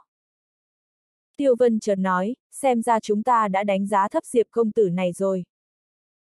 Sau đó, hắn ta cũng xoay người rời đi. Dương Phong im lặng một lát rồi cũng rời đi. Ở một nơi khác, Diệp Huyên và Lâm Dược chậm rãi bước đi trong tầng mây. Lâm Dược cười nói, nói thật thì chúng ta đã đánh giá thấp Diệp công tử rồi. Diệp Huyên khẽ cười, Lâm Dược cô nương, có thể giới thiệu cho ta những thế lực ở đạo Sơn kia không? Lâm Dược hơi ngạc nhiên, Diệp công tử không biết gì về đạo Sơn sao? Diệp Huyên hỏi ngược lại, cô cảm thấy ta phải biết à? Lâm Dược chớp mắt, Diệp công tử, huynh đến từ nền văn minh cao cấp hơn à? Diệp Huyên cười khẽ, sau đó nói, cô đoán xem. Lâm Dược cười không đáp. Diệp Huyên chợt nói, Lâm Dược cô nương, ta dẫn cô đến một nơi. Dứt lời, hắn lập tức đưa Lâm Dược vào trong tiểu tháp. Sau khi tiến vào tiểu tháp, Lâm Dược sững sờ, sau đó, sắc mặt nàng ta thoáng chốc thay đổi, đây, đây. Diệp Huyên lại dẫn nàng ta rời khỏi tiểu tháp. Lâm Dược siết chặt hai tay, trong mắt đầy vẻ rung động. Diệp Huyên đi tới trước mặt Lâm Dược, khẽ mỉm cười, Lâm Dược cô nương, chúng ta gặp lại sau. Nói xong, hắn xoay người biến mất ở phía xa. Lâm Dược đứng im tại chỗ một lúc lâu mới xoay người rời đi. Diệp Huyên trở lại tiểu tháp, sau đó bắt đầu tu luyện điên cuồng. Bây giờ hắn đã đuổi được đám người Lâm Dược đi, nhưng hắn biết những người này sẽ lại đến một lần nữa. Mà việc cấp bách của hắn bây giờ là nhanh chóng nâng cao thực lực của mình. Huyết đồng không tiếp tục tu luyện, bây giờ nàng đã đạt tới mệnh cách cảnh, muốn tiếp tục nâng cao, trong một khoảng thời gian ngắn chắc chắn là không thể. Hôm nay, huyết đồng đi tới trước mặt Diệp Huyên, Diệp Huyên đang tu luyện mở mắt ra, hắn nhìn nàng, có chuyện gì sao? Huyết đồng lấy một sâu kẹo hồ lô ra liếm liếm, sau đó nói, nói xem tiếp theo có thể xảy ra chuyện gì, có hai khả năng, một là đạo sơn này sẽ không thể chịu được cám dỗ, bất chấp tất cả giết chết ngươi, cướp đi huyết mạch và mệnh cách của ngươi, khả năng thứ hai là bọn họ sẽ kiêng rẻ ngươi, sau đó bắt đầu điều tra ngươi. Nói đến đây, nàng nhìn về phía Diệp Huyên, bọn họ có thể điều tra ra người đứng sau lưng chúng ta không? Diệp Huyên nhíu mày, chúng ta. Huyết đồng liếm kẹo hồ lô, chỗ dựa của ngươi chính là chỗ dựa của ta, đương nhiên, chỗ dựa của ta cũng là chỗ dựa của ngươi. Diệp Huyên nhìn huyết đồng, cô có chỗ dựa à? Huyết đồng gật đầu, chỗ dựa của ta chính là chỗ dựa của ngươi. Diệp Huyên. Huyết đồng lại nói, khi nãy lâm dược kia đã bị ngươi hù dọa, có lẽ thế lực sau lưng nàng ta sẽ giúp đỡ cho ngươi, nhưng theo ta thấy, cơ hội này không lớn lắm. Diệp Huyên khó hiểu, tại sao? Huyết đồng nói, giúp đỡ ngươi chẳng khác nào đối đầu với những thế lực khác. Hơn nữa, có lẽ bọn họ cũng muốn có được thanh kiếm, mệnh cách và huyết mạch của ngươi. Nói đến đây, nàng lại nhìn Diệp Huyên, bất cứ một sinh linh nào cũng đều có lòng tham, không ai là ngoại lệ cả. Diệp Huyên cười hỏi, vậy cô cảm thấy ta phải làm gì đây? Huyết đồng im lặng suy nghĩ một lát rồi nói, người cảm thấy đạo Sơn sẽ cho ngươi nhiều thời gian không? Diệp Huyên lắc đầu. Huyết đồng lại hỏi, cho ngươi thêm 10 ngày, ngươi có thể đạt đến mệnh cách cảnh không? 10 ngày cũng chính là trăm năm.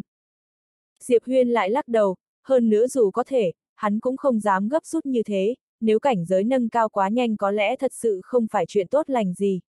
Mục tiêu của hắn bây giờ là vô gian cảnh. Huyết đồng nói tiếp, nếu không thể vậy chúng ta phải nghĩ cách đối phó với đạo Sơn. Diệp Huyên nhìn về phía huyết đồng, đối phó như thế nào huyết đồng khẽ mỉm cười, hai từ thôi, dạo oai, Diệp Huyên nhếch môi, tư tưởng lớn gặp nhau.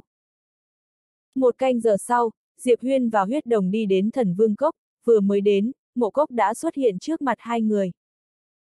Diệp Huyên cười nói, mộ cốc chủ, ta phải đi đến đạo Sơn rồi. Mộ cốc thoáng ngây người, sau đó cười nói, Diệp Tông chủ đi thong thả. Diệp Huyên đi tới trước mặt mộ cốc, hắn khẽ mỉm cười, mộ cốc cốc chủ, sau khi ta đi, cô sẽ không có ý đồ gì với thần tông đó chứ. Mộ cốc vội lắc đầu, không dám. Diệp Huyên cười nói, ta nhận được lợi ích từ thần tông, cũng đã đồng ý với thủy sinh tông chủ là sẽ bảo vệ thần tông, cho nên ta không hy vọng thần vương cốc lại đi gây chuyện với thần tông, được chứ? Mộ cốc khẽ mỉm cười, lần này Diệp công tử đến đạo Sơn, đường xá xa xôi, cũng phải cẩn thận đấy. Ý của nàng ta là có động vào thần tông hay không thì phải xem Diệp Huyên ngươi có còn sống hay không. Lúc này, Diệp Huyên đột nhiên rút kiếm chém một phát. Rút kiếm định sinh tử, mà chiêu kiếm này còn trồng chất tận 4.800 tia kiếm. Nhìn thấy chiêu kiếm này, sắc mặt mộ cốc thoáng chốc thay đổi, nàng ta vội giơ quả cầu trong tay lên đỡ. Oanh! Quang cầu thoáng chốc vỡ tan, vô số ánh sáng màu xanh dương bắn ra, thời không xung quanh cũng bắt đầu sụp đổ, mộ cốc cũng thoáng chốc lùi lại mấy vạn trượng. Nàng ta còn chưa dừng lại, một thanh kiếm đã chĩa vào giữa chân mày. Gấp đôi thời không tầng 9. Chiêu kiếm này nhanh đến mức mộ cốc đã đạt tới mệnh cách cảnh vẫn không kịp phản ứng. Mộ cốc sừng sốt. Ở trước mặt tên này, thậm chí nàng ta còn không có khả năng đánh trả. Thật ra Diệp Huyên cũng rất ngạc nhiên. Hắn không ngờ sau khi gấp đôi thời không tầng 9, phi kiếm lại có thể nhanh đến mức này, trong khoảnh khắc khi nãy, kiếm thanh huyên nhanh đến mức hắn còn không kịp phản ứng. Quá đáng sợ. Lúc này, mộ cốc trầm giọng nói, Diệp công tử, từ nay về sau, thần vương cốc ta sẽ không gây chuyện với thần tông nữa. Diệp huyên nhìn mộ cốc, một khắc sau, kiếm thanh huyên đâm thẳng vào giữa chân mày nàng ta. Oanh! Mộ cốc cứ thế bị hấp thu. Diệp huyên lắc đầu cười khẽ, ngây thơ. Cam kết. Thứ này cũng giống như nhân phẩm vậy, từ lâu đã không đáng một đồng rồi. Kiếm thanh huyên trong tay Diệp huyên bay ra, một khắc sau, cường giả thần linh cảnh trong thần vương cốc đều bị hắn chém chết. Nửa canh giờ sau, Diệp Huyên xoay người rời đi, hắn nhanh chóng đi tới thập tuyệt thần điện, vừa mới đến, mộ khâu đã xuất hiện trước mặt hắn, Diệp Huyên đang định cất lời thì mộ khâu đã nói trước, Diệp Thiếu, thập tuyệt thần điện ta sai rồi. Diệp Huyên ngạc nhiên. Mộ khâu lại nói, lúc trước mộ khâu ta có mắt không thấy Thái Sơn, mạo phạm Diệp Thiếu, xin Diệp Thiếu rộng lòng nương tay, tha cho thập tuyệt thần điện ta một lần.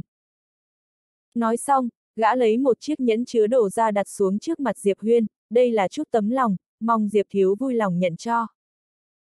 Diệp Huyên nhìn mộ khâu, ông biết chuyện của thần vương cốc rồi à? Mộ khâu thoáng do dự, sau đó gật đầu.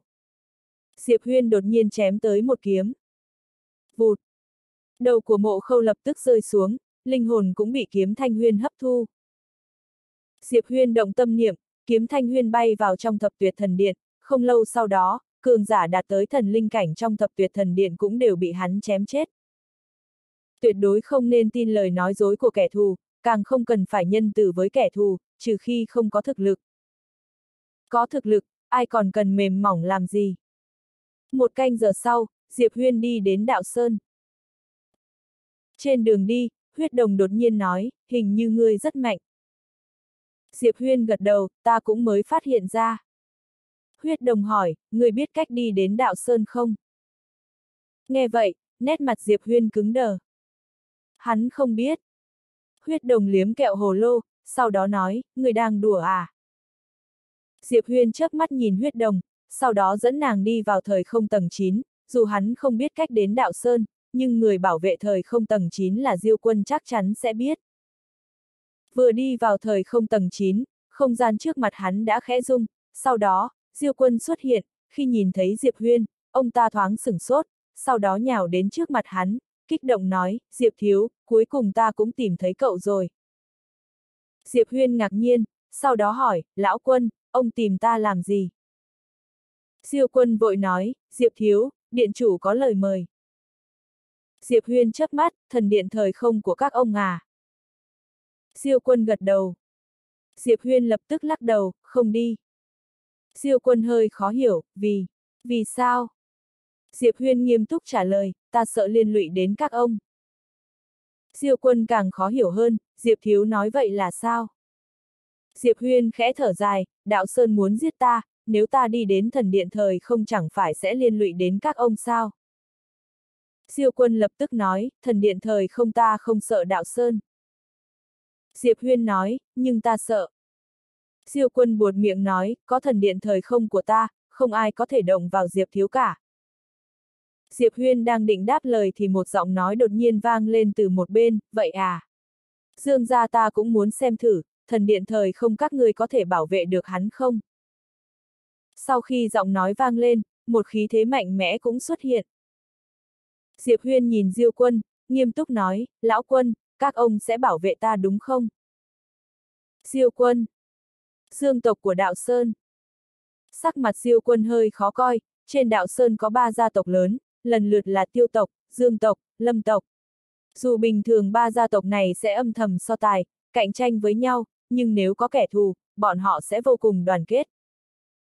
Vì tổ tiên của ba gia tộc từng là bạn tốt, lúc bọn họ chết cũng có để lại tổ huấn, nếu gặp kẻ thù, ba gia tộc phải như cây liền cành, cùng nhau chống lại. Thần điện thời không không sợ đạo Sơn, nhưng đạo Sơn cũng không sợ bọn họ. Nếu thật sự đánh nhau thì có thể nói là ngang tài ngang sức. Diệp Huyên nhìn sang một bên, có một ông lão chậm rãi đi tới. Ông lão mặc áo choàng đen, hai tay khuất trong ống tay áo rộng lớn, đôi mắt sắc bén như đao, trên người tản ra khí thế khiến người khác khiếp sợ. Nhìn thấy ông lão, diêu quân xa sầm mặt. Mệnh thể cảnh. Mệnh cách cảnh chia làm 10 đoạn, mà sau 10 đoạn chính là mệnh thể, mệnh hồn. Mệnh thể là gì? Chính là chỉ thân thể đã được cường hóa, đạt đến mệnh thể cảnh cũng đồng nghĩa với việc đã nắm giữ vận mệnh chi lực, đây là một loại lực lượng vô cùng huyền diệu, một khi đạt đến mệnh thể, thần vật bình thường hoàn toàn không thể phá vỡ phòng ngự. Ông lão nhìn Diệp Huyên, cười khẩy, sau đó lại lạnh lùng nhìn về phía Diêu quân, thần điện thời không của ngươi muốn bảo vệ nhân loại này sao? Diêu quân đang định đáp lời thì ông lão đột nhiên quát to, đừng phí lời, nếu muốn bảo vệ, bây giờ đạo Sơn ta sẽ tuyên chiến với thần điện thời không, hai bên không chết không thôi. Nếu không bảo vệ thì mau chóng rời đi, đừng để ảnh hưởng đến hòa khí giữa hai bên. Hùng hổ đáng sợ. Sắc mặt diêu quân hơi khó coi. Khai chiến với đạo Sơn. Ông ta chắc chắn không có quyền quyết định chuyện này. Lúc này, điện chủ tư thiên của thần điện thời không đột nhiên xuất hiện, nhìn thấy tư thiên, diêu quân lập tức thở phào nhẹ nhõm. Lão đại đến rồi, tư thiên nhìn về phía ông lão. Ông đang uy hiếp thần điện thời không của ta ư. Ông lão dương tộc cười nhạt, uy hiếp, tư thiên điện chủ, đạo sơn ta và thần điện thời không ông không thù không oán, ta uy hiếp ông làm gì.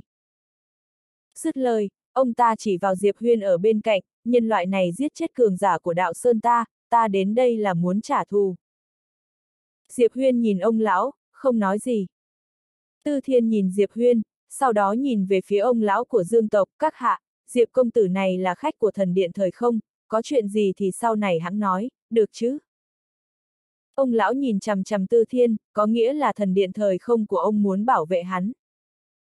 Tư Thiên định đáp lời thì ông lão lại nói, Tư Thiên điện chủ, đạo sơn ta nhất định phải xử lý tên này, nếu thần điện thời không dám ngăn cản, thì lão phu có thể cho ông biết, bắt đầu từ bây giờ, hai bên chúng ta không chết không thôi, mãi đến khi một bên bị tiêu diệt.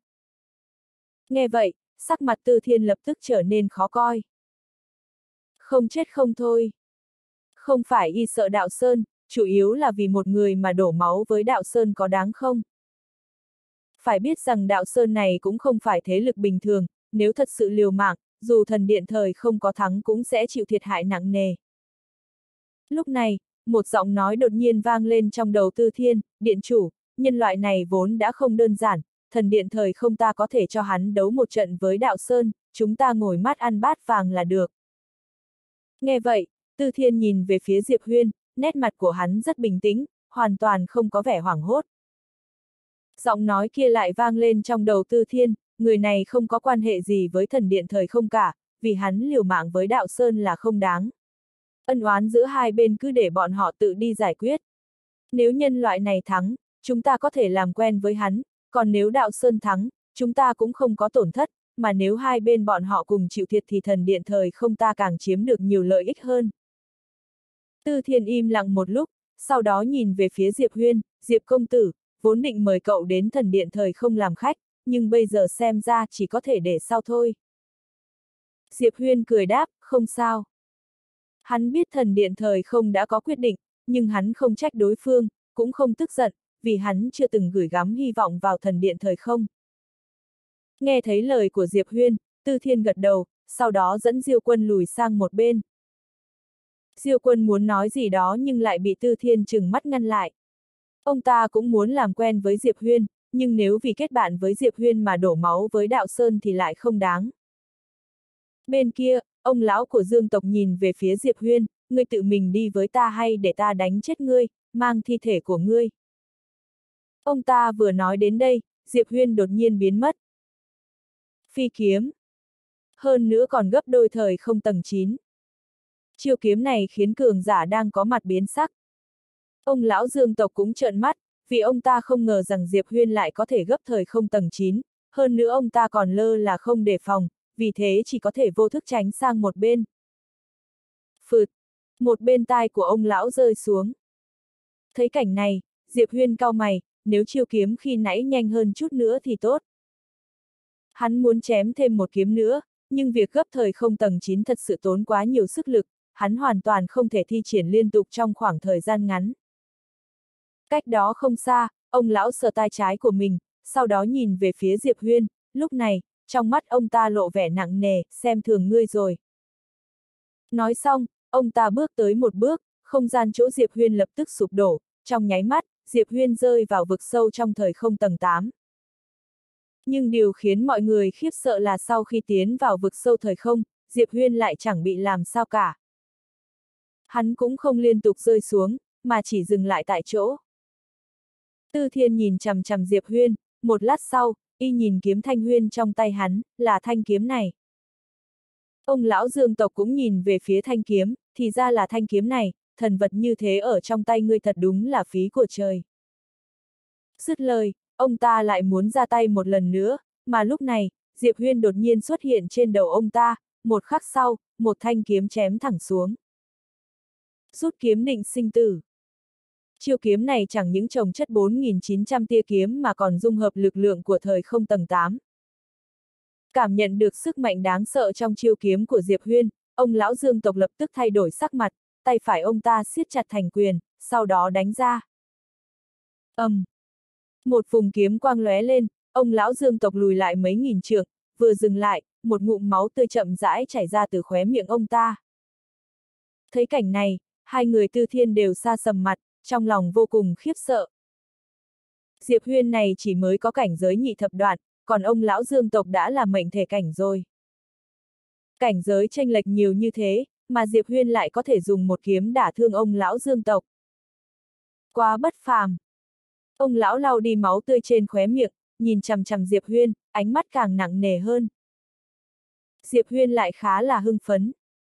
Đối với người cảnh giới thấp, Uy hiếp lớn nhất của người cảnh giới cao chính là áp chế thời không, nhưng hắn hoàn toàn không sợ việc đó. Phía xa, Tư Thiên vẫn luôn nhìn vào kiếm thanh huyên trong tay Diệp Huyên, trong mắt lộ vẻ tham lam. Y đã phát hiện, Diệp Huyên có thể khiêu chiến vượt nhiều cấp như thế là vì thanh kiếm này, thứ thật sự có giá trị chính là thanh kiếm, chứ không phải bản thân Diệp Huyên. Diêu quân ở bên cạnh nhìn thoáng qua Tư Thiên, trong mắt lệ vẻ lo lắng. Đương nhiên ông ta có thể nhìn ra ý đồ của Tư Thiên, nhưng Tư Thiên không biết rằng vị cường giả thần bí kia chính là người suýt giết chết ông ta bằng một kiếm. Bây giờ nhớ lại vẫn khiến ông ta thấy sợ hãi. Lúc đó nếu không nhờ Diệp Huyên lên tiếng ngăn cản thì ông ta đã chết rồi. Lúc này, Diệp Huyên đột nhiên biến mất, khi xuất hiện một lần nữa, hắn đã ở ngay trước mặt ông lão dương tộc, một khắc sau, một vùng kiếm quang bao trùm lấy ông ta. Phương thốn kiếm vực, Ông lão dương tộc híp mắt, một khắc sau, ông ta đè hai tay về phía trước. ầm, um. Một vùng kiếm quang nổ tung, sau đó, ông lão dương tộc lùi lại cả vạn trượng, vừa mới dừng lại, cả người ông ta đã nứt ra, máu tươi bắn tung tóe. Phá rồi! Tư Thiên ở phía xa vẫn luôn nhìn chằm chằm thanh kiếm trong tay Diệp Huyên, thanh kiếm này có thể phá vỡ phòng ngự của cường giả thần thể cảnh. Diêu quân hơi do dự, sau đó nhắc nhở, điện chủ, người chống lưng cho người này không đơn giản đâu. Tư thiên híp mắt, không nói lời nào. Sắc mặt của ông lão dương tộc ở phía xa vô cùng khó coi, ông ta không ngờ rằng bản thân lại bị một kẻ nhị thập đoạn làm trọng thương. Diệp Huyên đang định tiếp tục ra tay thì ông lão dương tộc chợt lên tiếng, xuất hiện đi. Ông ta vừa dứt lời, mười mấy cường giả đột nhiên xuất hiện. cường giả yếu nhất trong đó cũng là thập đoạn. Ông lão dương tộc nhìn chằm chằm Diệp Huyên, châm chọc, Diệp Huyên, lão phu thật sự đánh giá thấp ngươi rồi. Dù ngươi dựa vào thần kiếm để áp chế lão phu, nhưng lão phu cũng không chỉ có một mình, sau lưng lão phu còn có dương tộc, còn có đạo sơn. Nói xong, ông ta tức giận chỉ vào Diệp Huyên, lão phu có người chống lưng, người có thấy tức giận không? Hả? Diệp Huyên hơi do dự, sau đó nói, ông già, ông nhàm chán thế. Hai chúng ta đang đấu tay đôi, ông lại đi gọi người, có phải chơi xấu quá rồi không? Ông lão dương tộc cười gần, nếu ngươi có bản lĩnh thì đừng cầm thanh kiếm trong tay mình. Diệp Huyên cười khẽ, ông có cảnh giới gì? Ta có cảnh giới gì? Ông còn có mặt mũi nói lời đó sao? Nói xong, hắn lắc đầu, ông già, ông sống lâu như thế, vẫn nên giữ cho mình chút thể diện, nếu ngay cả thể diện cũng không cần, vậy còn. Nói đến đây, hắn như nghĩ đến điều gì nên không tiếp tục nữa. Ông lão dương tộc cười nhạt, ta gọi người, người cũng có thể gọi mà. Lão phu có bảo ngươi không được gọi sao? Nào, ngươi mau gọi người đi, ai cũng nói sau lưng ngươi có cường giả thần bí, hôm nay lão phu muốn mở rộng tầm mắt, ngươi mau đi.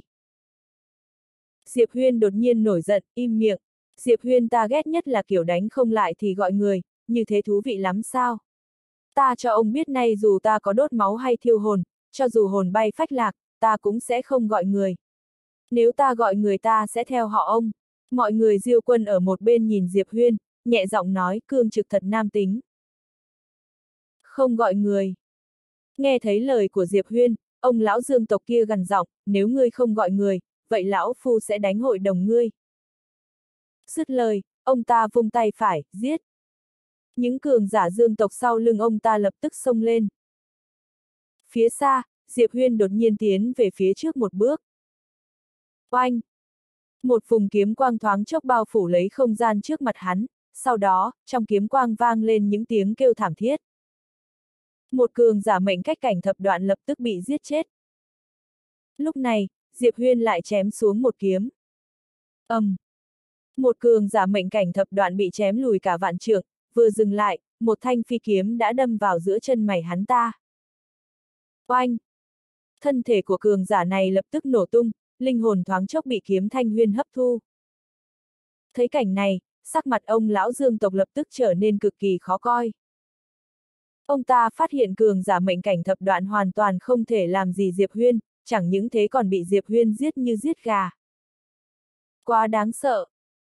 Phía xa, Diệp Huyên đang định tiếp tục ra tay thì một bàn tay khổng lồ vô hình đột nhiên xuất hiện trên đầu hắn, một khắc sau, bàn tay to kia vỗ xuống. Sắc mặt Diệp Huyên thay đổi, hắn ngẩng đầu, đâm tới một kiếm. Oanh! Kiếm quang thoáng chốc vỡ tan, Diệp Huyên bị đánh ra khỏi thời không tầng 9, mà lúc dừng lại, thân thể của hắn cũng bị nứt, máu tươi bắn tung tóe.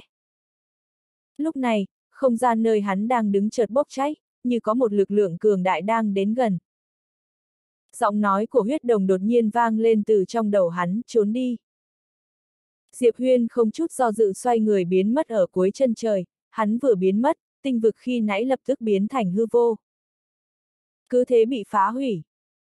Thấy cảnh này, sắc mặt Diệp Huyên thay đổi, lúc này, không gian sau lưng hắn chợt nứt ra, sau đó, một quyền ấn đánh tới. Không có áp lực thời không, cũng không có áp chế thời không, chỉ là lực lượng đơn thuần. Diệp Huyên không ngừng rên rỉ. Hắn sợ nhất là kiểu lực lượng thuần túy nhất thế này. Muốn tránh cũng không tránh được, Diệp Huyên xoay người, nâng kiếm lên đỡ.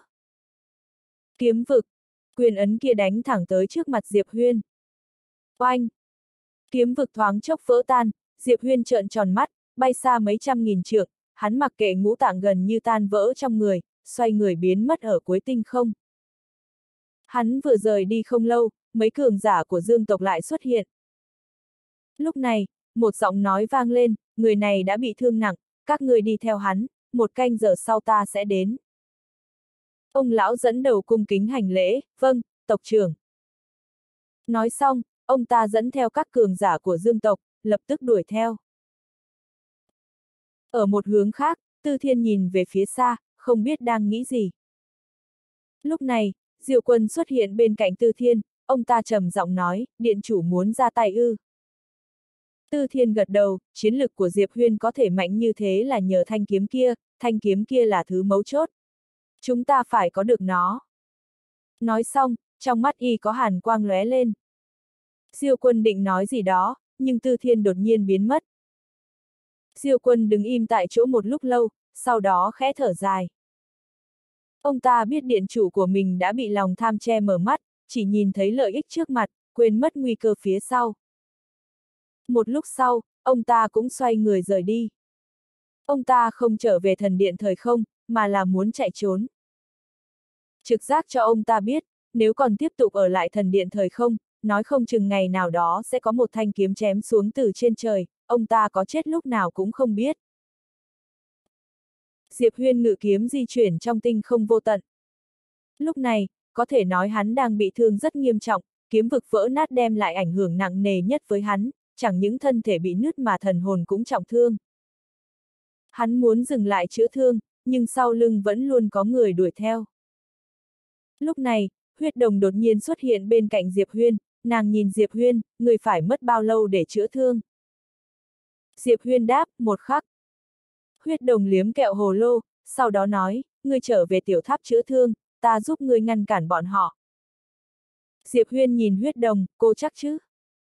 Huyết đồng gật đầu. Nhưng Diệp Huyên lại lắc đầu, tuy cô có cảnh giới mệnh cách cảnh, nhưng bọn họ đều là thập đoạn, cô không đánh lại đâu. Huyết đồng nói, cho ta mượn chút máu. Diệp Huyên. Huyết đồng kéo tay Diệp Huyên, đừng lề mề nữa. Nói xong, nàng khẽ dùng sức, cổ tay của Diệp Huyên bị rách, một dòng máu tươi phun ra, còn Diệp Huyên thì được nàng đưa vào trong tiểu tháp. Diệp Huyên cũng không suy nghĩ nhiều mà lập tức chữa thương. Diệp Huyên vừa đi vào tiểu tháp, mấy cường giả của dương tộc cũng đã xuất hiện. Ông lão dẫn đầu nhìn huyết đồng, hắn ta đâu? Huyết đồng liếm kẹo hồ lô, sau đó đáp, hắn bỏ lại ta bỏ chạy mất rồi. Ông lão híp mắt, chạy mất rồi. Huyết đồng gật đầu, đúng thế. Ông lão nhìn chằm chằm huyết đồng một lúc lâu, giết. Đương nhiên ông ta sẽ không tin lời nói dối của huyết đồng. Ông lão cất tiếng ra lệnh, nhưng ông ta không xông lên trước, mà để cho những cường giả dương tộc sau lưng xông lên. Huyết đồng chậm rãi nhắm mắt, huyết dịch của Diệp Huyên trong lòng bàn tay phải của nàng chợt sôi trào, một khắc sau, nàng chợt mở hai mắt. Oanh! Một uy thế huyết mạch cường địa thoáng chốc bao trùm xung quanh, tên cường giả dương tộc dẫn đầu còn chưa kịp phản ứng đi bị uy thế này nghiền nát. Thấy cảnh này, ông lão dương tộc kia thay đổi sắc mặt, vội vàng lùi lại. Lúc này, huyết đồng đột nhiên tiến lên một bước, đánh một quyền tới. ầm, um. Một quyền ấn màu máu lóe lên, đánh thẳng vào một cường giả dương tộc.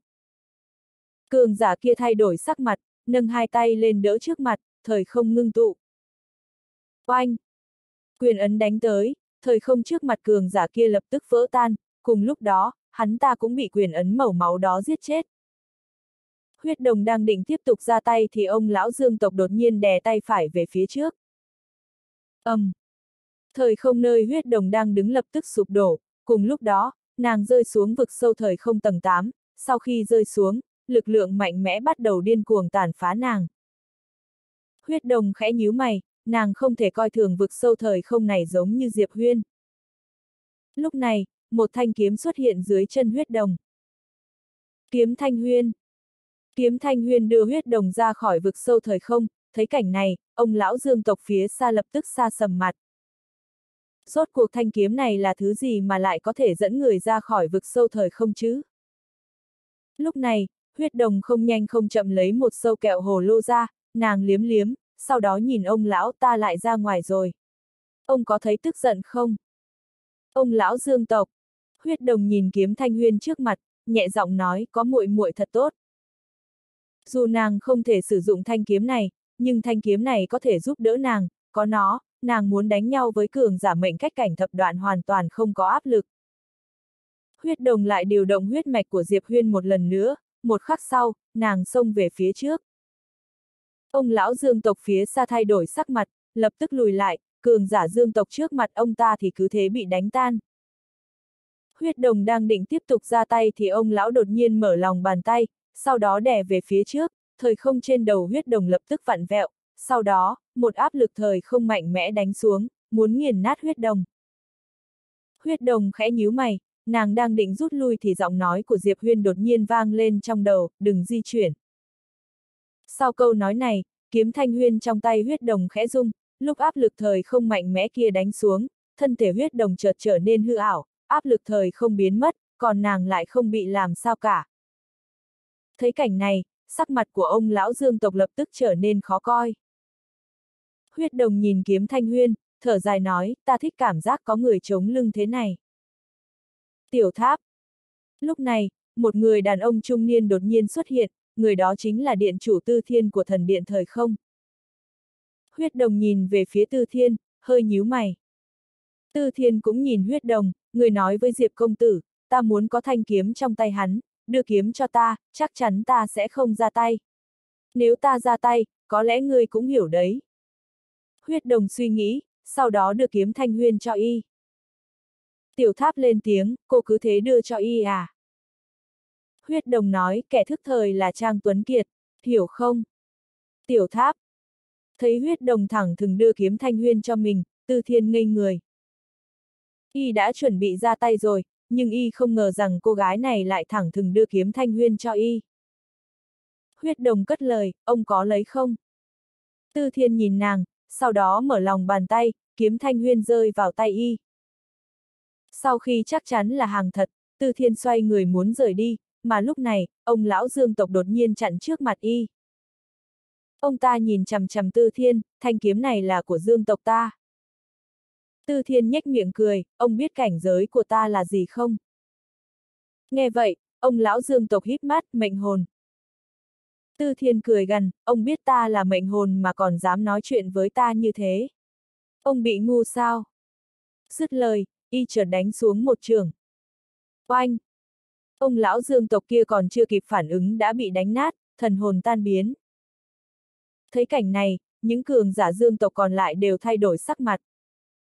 Sau khi giết chết ông lão dương tộc, Tư Thiên bèn định rời đi. Lúc này, huyết đồng đột nhiên nói, nếu đã là kẻ thù, tại sao không đuổi cùng giết tận? Nói xong, nàng xoay người bỏ chạy. Những cường giả dương tộc còn lại đều ngây người, đuổi cùng giết tận. Một khắc sau, sắc mặt bọn họ thay đổi, đây không phải là chỉ bọn họ sao. Bọn họ lập tức muốn chạy trốn, nhưng đã muộn rồi, từ thiên phía xa lập tức đánh xuống một trường, những cường giả dương tộc kia đều bị giết chết trong nháy mắt. Tư thiên quay đầu nhìn về phía huyết đông vừa đứng, lúc này, nàng đã chạy mất tâm. Tư thiên hơi do dự, sau đó vẫn không đuổi theo và cảm thấy không cần thiết, việc cần làm bây giờ là đưa thanh kiếm trở về thần điện thời không. Những cường giả dương tộc này có thể nói là chết không nhắm mắt. Trong một tinh không khác, huyết đồng dừng lại. Diệp Huyên xuất hiện trước mặt huyết đồng, thật ra thương thế của hắn sớm đã lành lại rồi. Huyết đồng nhìn Diệp Huyên, người có trách ta tại sao lại giao thanh kiếm kia ra không? Diệp Huyên cười hỏi, sao ta lại trách cô? Huyết đồng nhìn Diệp Huyên một lát rồi nói, người nham hiểm thật, nhưng ta thích. Rồi hai người cùng nhau rời đi. Kiếm Thanh Huyên ở lại bên cạnh Diệp Huyên là một tai họa, không chỉ đạo Sơn muốn đến gây sự với Diệp Huyên, mà thần điện thời không cũng muốn làm phiền hắn. Mà bây giờ, sau khi đưa kiếm Thanh Huyên cho Tư Thiên cũng có nghĩa là đã khiến Dương tộc kết thù với thần điện thời không, vậy là Diệp Huyên hắn có thể tranh thủ được một ít thời gian. Bây giờ thứ hắn cần nhất chính là thời gian. Diệp Huyên đột nhiên hỏi, điện chủ thần điện thời không giết người của Dương tộc. Huyết đồng gật đầu, giết sạch. Diệp Huyên cười, ác thật. Huyết đồng nhìn về phía Diệp Huyên, người có dự định gì không? Diệp Huyên chậm rãi nhắm hai mắt lại, một lát sau hắn trầm giọng nói, còn nhớ cường giả thần bí lúc trước ra tay với ta không? Huyết đồng nói, hình như là tộc trưởng dương tộc. Diệp Huyên nhẹ giọng nói, với thực lực hiện tại của ta, căn bản không thể chống lại cường giả cấp bậc đó được. Huyết đồng an ủi, đừng sợ, chúng ta có phụ thân mà, phụ thân không ở đây thì còn có muội muội. Diệp Huyên. Lúc này, tiểu tháp đột nhiên nói, huyết đồng tỷ tỷ này trầm mê vào con đường làm con ông cháu cha sống sung túc rồi. Diệp Huyên nghiêm mặt nói, huyết đồng, chúng ta phải dựa vào chính mình. Huyết đồng gật đầu, ta hiểu. Trừ những lúc vô cùng bất đắc dĩ ra thì không được gọi người, chúng ta phải rèn luyện bản thân, ta hiểu mà. Diệp Huyên. Huyết đồng lấy một que kẹo hồ lô ra liếm, sau đó nói, có thể hỏi vài vấn đề không? Diệp Huyên cười nói, vấn đề gì? Huyết đồng nhìn Diệp Huyên, muội muội của ngươi rốt cuộc mạnh đến đâu? Diệp Huyên đang định đáp lời thì tiểu tháp đã xen vào trước, đừng có hỏi, là vô địch đó. Thiên mệnh tỷ tỷ mãi vô địch. Huyết đồng lại hỏi, vậy cha hắn thì sao? Người đàn ông áo xanh. Tiểu tháp cười hì hì, thôi nói như này cho dễ hiểu nè. Chủ nhân cũng từng bị thiên mệnh tỷ tỷ đánh đó, hiểu chưa? Diệp Huyên lau mồ hôi lạnh trên trán, mẹ kiếp, bây giờ hắn cảm thấy ở cạnh tiểu tháp này nguy hiểm quá.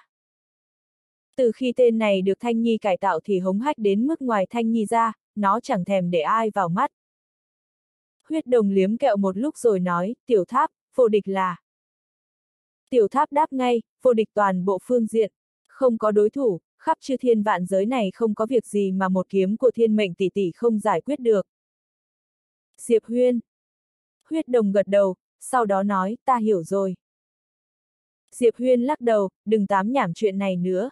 Việc cấp bách của chúng ta là tu luyện, chúng ta phải. Nói đến đây, sắc mặt Diệp Huyên đột nhiên thay đổi hoàn toàn, hắn nhanh chóng quay người lại, cách trước mặt hắn mấy trăm tượng có một người đàn ông trung niên mặc áo bảo trắng đang đứng. Người đàn ông trung niên này xuất hiện từ khi nào, cả hắn và huyết đồng đều không biết. Vẻ mặt hai người đều nghiêm lại. Người đàn ông trung niên đánh giá Diệp Huyên một chút rồi cười nói, ta nghĩ các ngươi chắc chắn cho rằng dương tộc ta sẽ nhắm vào thần điện thời không, đúng không? Diệp Huyên trầm giọng nói, ngươi là tộc trưởng dương tộc. Người đàn ông trung niên cười đáp, đúng vậy. Tộc trưởng dương tộc Dương Liêm. Diệp Huyên khẽ cười nói, tại sao lại đến tìm ta? Dương Liêm chậm rãi đi về phía Diệp Huyên, bởi vì ta cảm thấy ngươi là uy hiếp lớn nhất. Diệp Huyên khẽ nhíu mày, uy hiếp lớn nhất. Dương Liêm gật đầu, người chỉ là nhị thập đoạn nhưng đã có thể cứng đối cứng được hai chiêu của ta. Yêu nghiệt như ngươi, ta chưa từng gặp bao giờ. Diệp Huyên quay đầu nhìn về phía huyết đồng, yêu tú quá cũng là một mối họa. Huyết đồng nhìn Diệp Huyên, đều là người nhà với nhau, đừng có ra vẻ như vậy được không? Diệp Huyên. Lúc này, Dương Liêm lại nói, người cố ý đưa thần kiếm cho thần điện thời không là muốn dương tộc ta liều mạng với họ, còn ngươi sẽ ở ngoài làm ngư ông đắc lợi. Đúng không? Huyết đồng ở cạnh Diệp Huyên trầm giọng nói, kẻ địch lần này hơi thông minh, làm sao đây? Diệp Huyên suy nghĩ một chút rồi nói, nắm đấm không giải quyết được vấn đề đâu, chúng ta nói đạo lý đi. Nói rồi, hắn nhìn Dương Liêm, hắn xòe tay ra, một giọt máu tươi chậm rãi bay đến trước mặt ông ta, khi thấy giọt máu này, Dương Liêm lập tức híp hai mắt lại.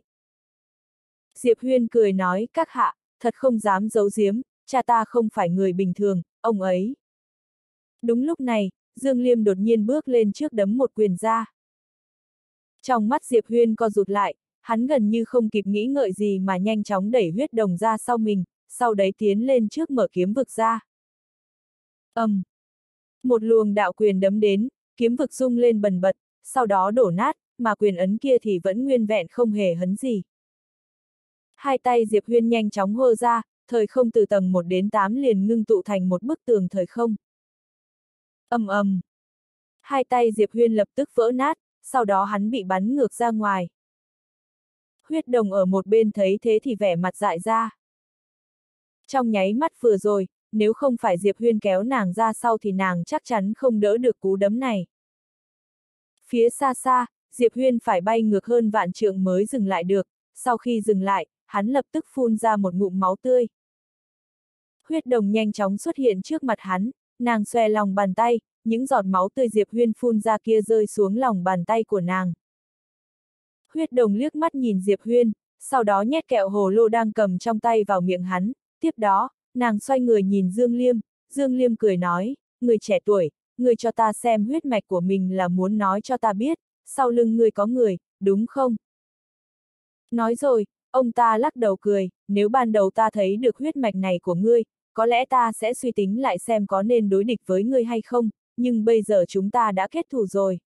Một khi kết thù thì chính là kẻ địch của nhau, mà đối với một kẻ địch siêu cấp yêu nghiệt thì cách tốt nhất chính là diệt trừ hắn ngay khi hắn chưa kịp trưởng thành, hiểu chưa? Nói xong, ông ta đột nhiên biến mất tại chỗ, một luồng khí thức mạnh mẽ đột nhiên ập đến, thời không nơi đây nhanh chóng bị tiêu diệt từng tầng. Huyết đồng ở trước mặt Diệp Huyên ánh lên một tia dữ tợn trong đáy mắt, nàng đột nhiên nắm chặt tay phải lại. ầm, um.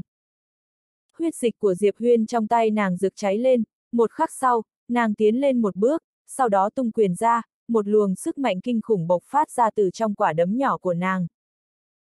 Hai luồng sức mạnh to lớn va vào nhau theo cách trực diện nhất.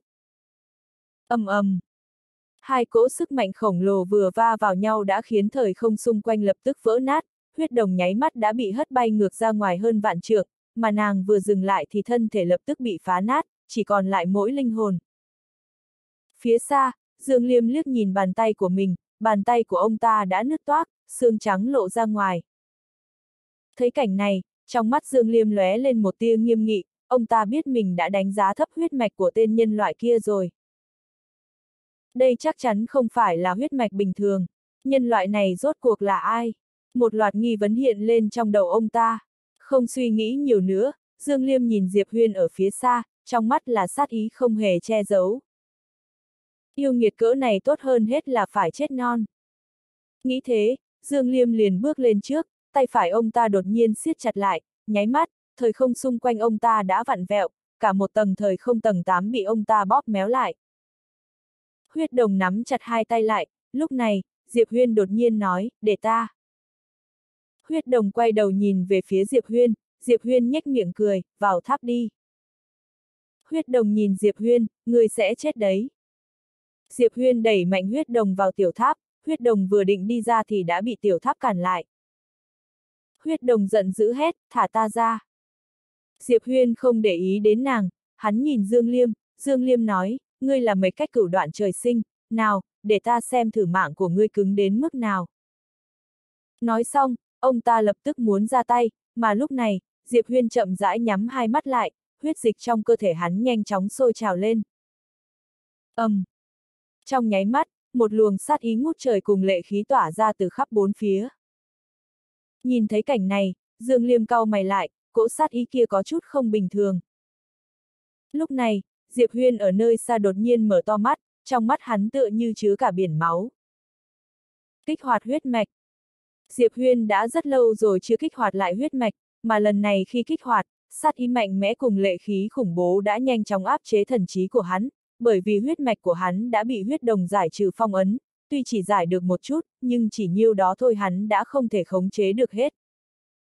Đúng lúc này, Diệp Huyên mở lòng bàn tay ra, một thanh huyết kiếm mọc ra từ giữa bàn tay hắn, một khắc sau, hắn đột nhiên biến mất. Xoẹt!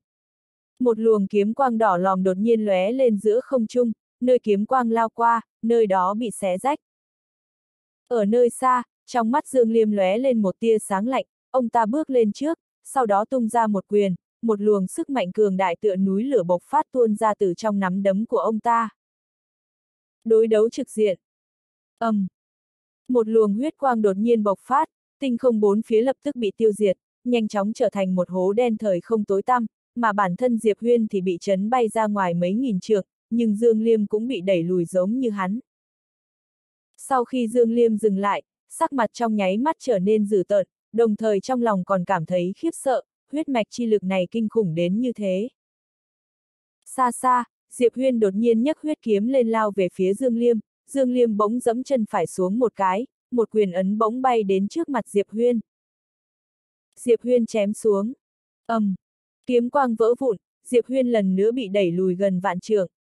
Nhưng Dương Liêm kia cũng bị chấn bay ra xa hơn nghìn trượng. Sức mạnh bây giờ của Diệp Huyên đã có thể tác động lên ông ta.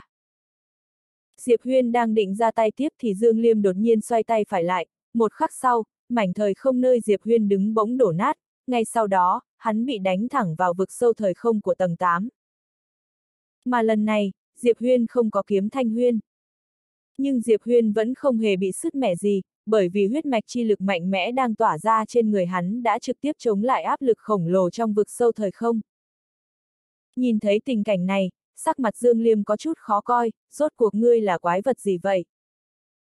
Lúc này, một giọng nói đột nhiên vang lên, xem ra Dương Liêm huynh cần giúp đỡ. Giọng nói vừa dứt, một đàn ông người trung niên đã xuất hiện ở bên cạnh Dương Liêm. Người tới chính là tộc trưởng tiêu tộc Tiêu Thiên. Lúc này, lại có một giọng nói vang lên, đúng là huynh cần giúp đỡ thật. Lại có thêm một ông lão xuất hiện ở bên phải Dương Liêm, người này chính là tộc trưởng lâm tộc Lâm Tiêu. Bộ ba đứng đầu đạo Sơn đã tề tụ. Đúng lúc này, bỗng có một tiếng nói vang lên ở cách đó không xa, ỉ lớn hiếp nhỏ sao. Thế không tốt đâu. Ba người quay đầu nhìn lại, ở phía xa, có một cô gái đang chậm rãi bước đến. Thấy cô gái kia, Dương Liêm dẫn đầu híp hai mắt lại, ngươi là người đứng đằng sau hắn. Cô gái liếc mắt nhìn Diệp Huyên đã bị đánh vào vực sâu thời không, cười nói ta là tỷ tỷ của hắn. Tỷ. Dương Liêm quan sát cô gái một chút rồi cười nói, người muốn cứu hắn. Cô gái khẽ mỉm cười, tộc trưởng Dương tộc, thứ cho ta nói thẳng, người hơi ngu. Nghe vậy, sắc mặt Dương Liêm lập tức trầm xuống, ông ta liền tung ra một quyền. ầm, um. Cô gái kia lập tức bị đánh thẳng vào vực sâu thời không, nhưng khi rơi xuống đó, nàng ta lại chẳng hề hấn gì. Thấy cảnh này, sắc mặt ba người Dương Liêm đều thay đổi kịch liệt. Cô gái lại nói, nhiều nhất nửa tháng nữa, thần điện thời không sẽ vượt xa đạo sơn các ngươi. Dương Liêm gắt gao nhìn chằm chằm vào cô gái, ngươi có ý gì, cô gái cười nói, các ngươi đã đánh giá thấp thanh kiếm kia quá rồi. Thanh kiếm kia không chỉ có thể bỏ qua áp lực thời không và vực sâu thời không, nó còn có thể tiến vào thời không tầng 9, đồng thời trồng chất thời không tầng 9. Quan trọng nhất là nó còn có thể dung hợp với thời không tầng chính. Tư Thiên có được kiếm này, một khi y hiểu hết được những bí mật trong đó, thực lực của y sẽ chớp mắt vượt qua mệnh hồn cảnh. Nghe vậy, sắc mặt của cả ba người đều đanh lại. Cô gái liếc Diệp Huyên ở phía xa rồi cười nói, thứ đáng giá nhất trên người hắn không phải huyết mạch hay mệnh cách gì cả, mà là thanh thần kiếm kia.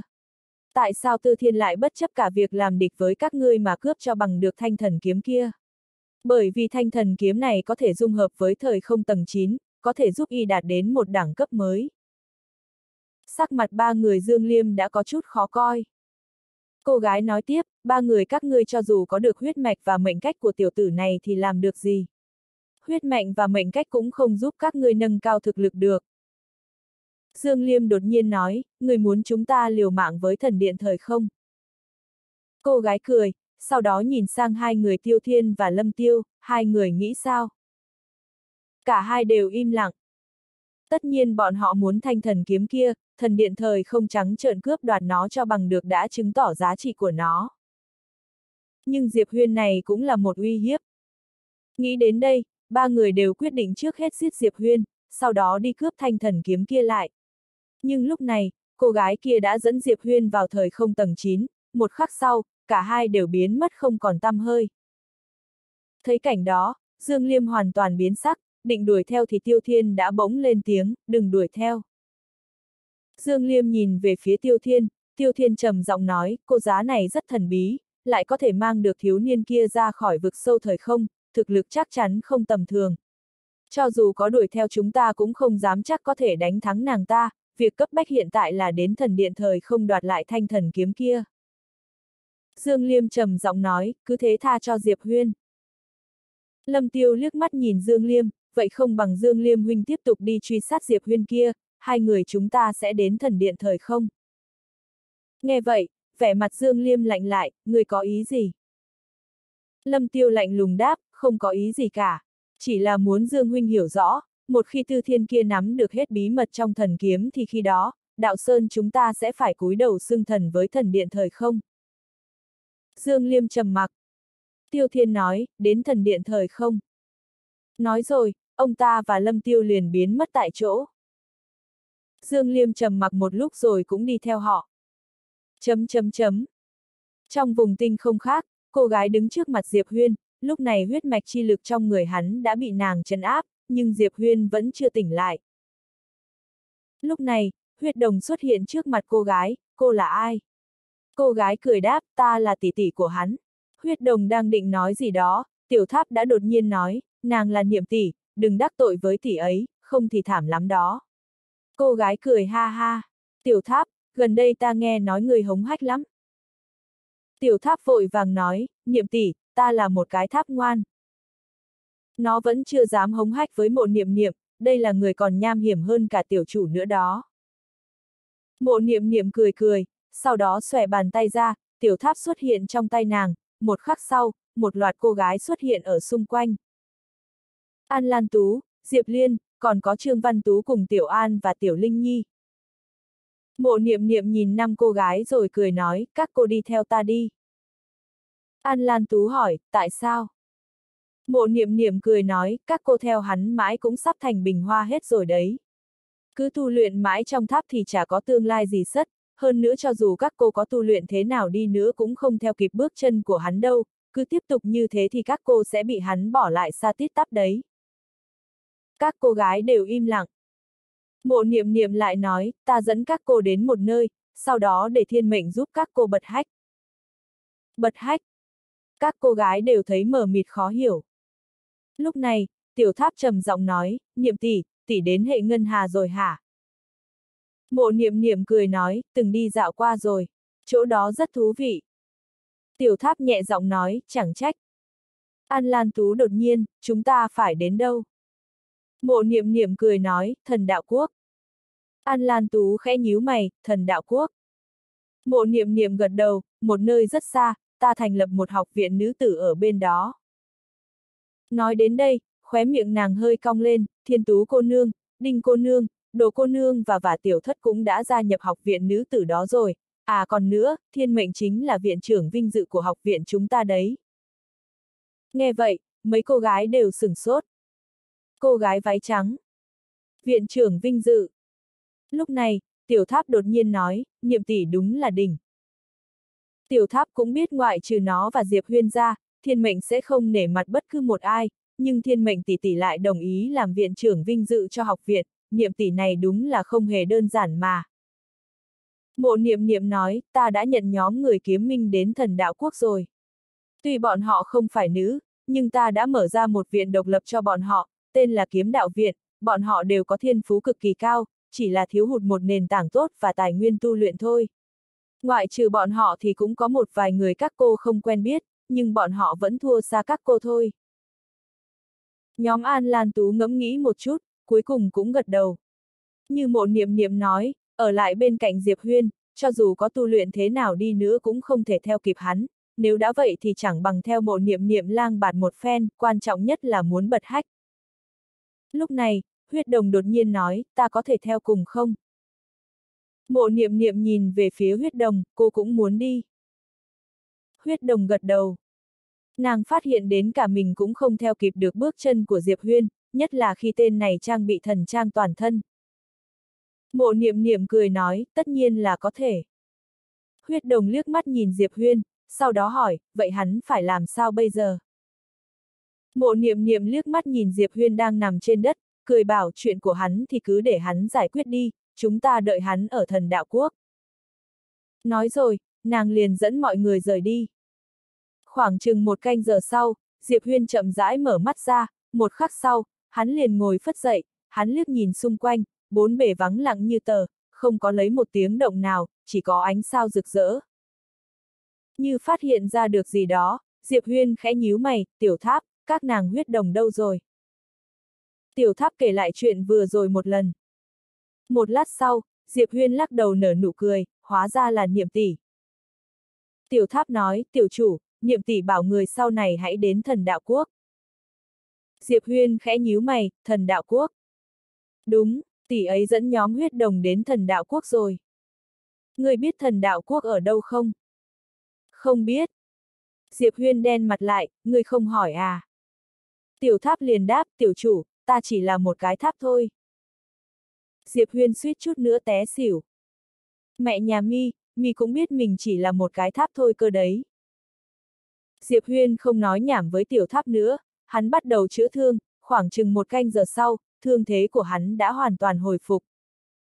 Hắn không lên đường đến thần đạo quốc ngay, bởi vì kiếm thanh huyên vẫn còn nằm trong tay thần điện thời không, hắn có thể cảm ứng được kiếm, nhưng hắn quyết định không chịu hoán kiếm thanh huyên về, bởi vì hắn biết, dù hắn có triệu hoán thì tư thiên cũng có thể ngăn cản lại được.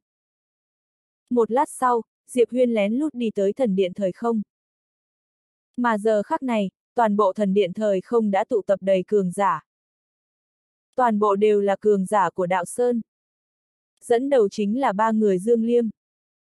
Tư Thiên đứng đối diện Dương Liêm, cười nói, ba vị, thần điện thời không ta không thù không oán với đạo Sơn, hôm nay các ngươi đến là có ý gì?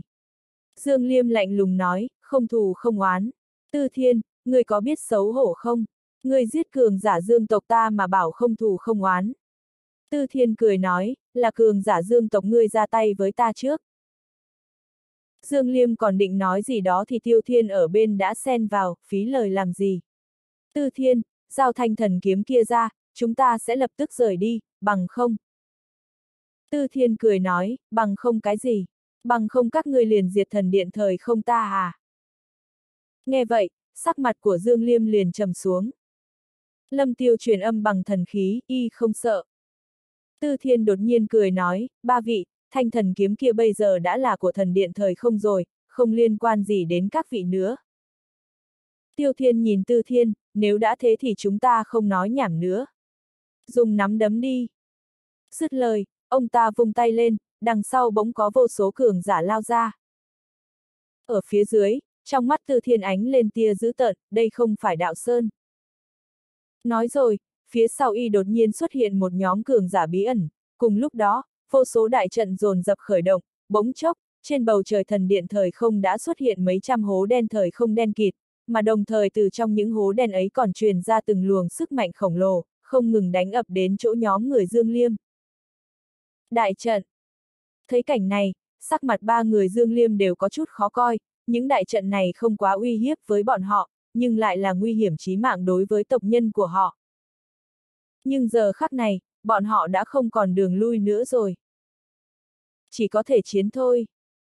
Tiêu Thiên đột nhiên nói, giết Tư Thiên kia trước. Nói xong, ông ta và Dương Liêm cùng Lâm Tiêu bay thẳng đến chỗ Tư Thiên ở phía dưới. Tư Thiên cong môi cười dữ tợn, y xòe lòng bàn tay, kiếm thanh huyên xuất hiện trong tay y. Y tất nhiên có chỗ dựa thì không cần sợ gì nữa.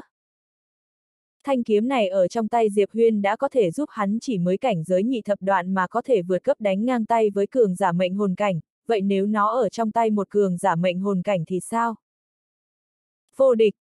Đây chính là cảm giác lúc này của y.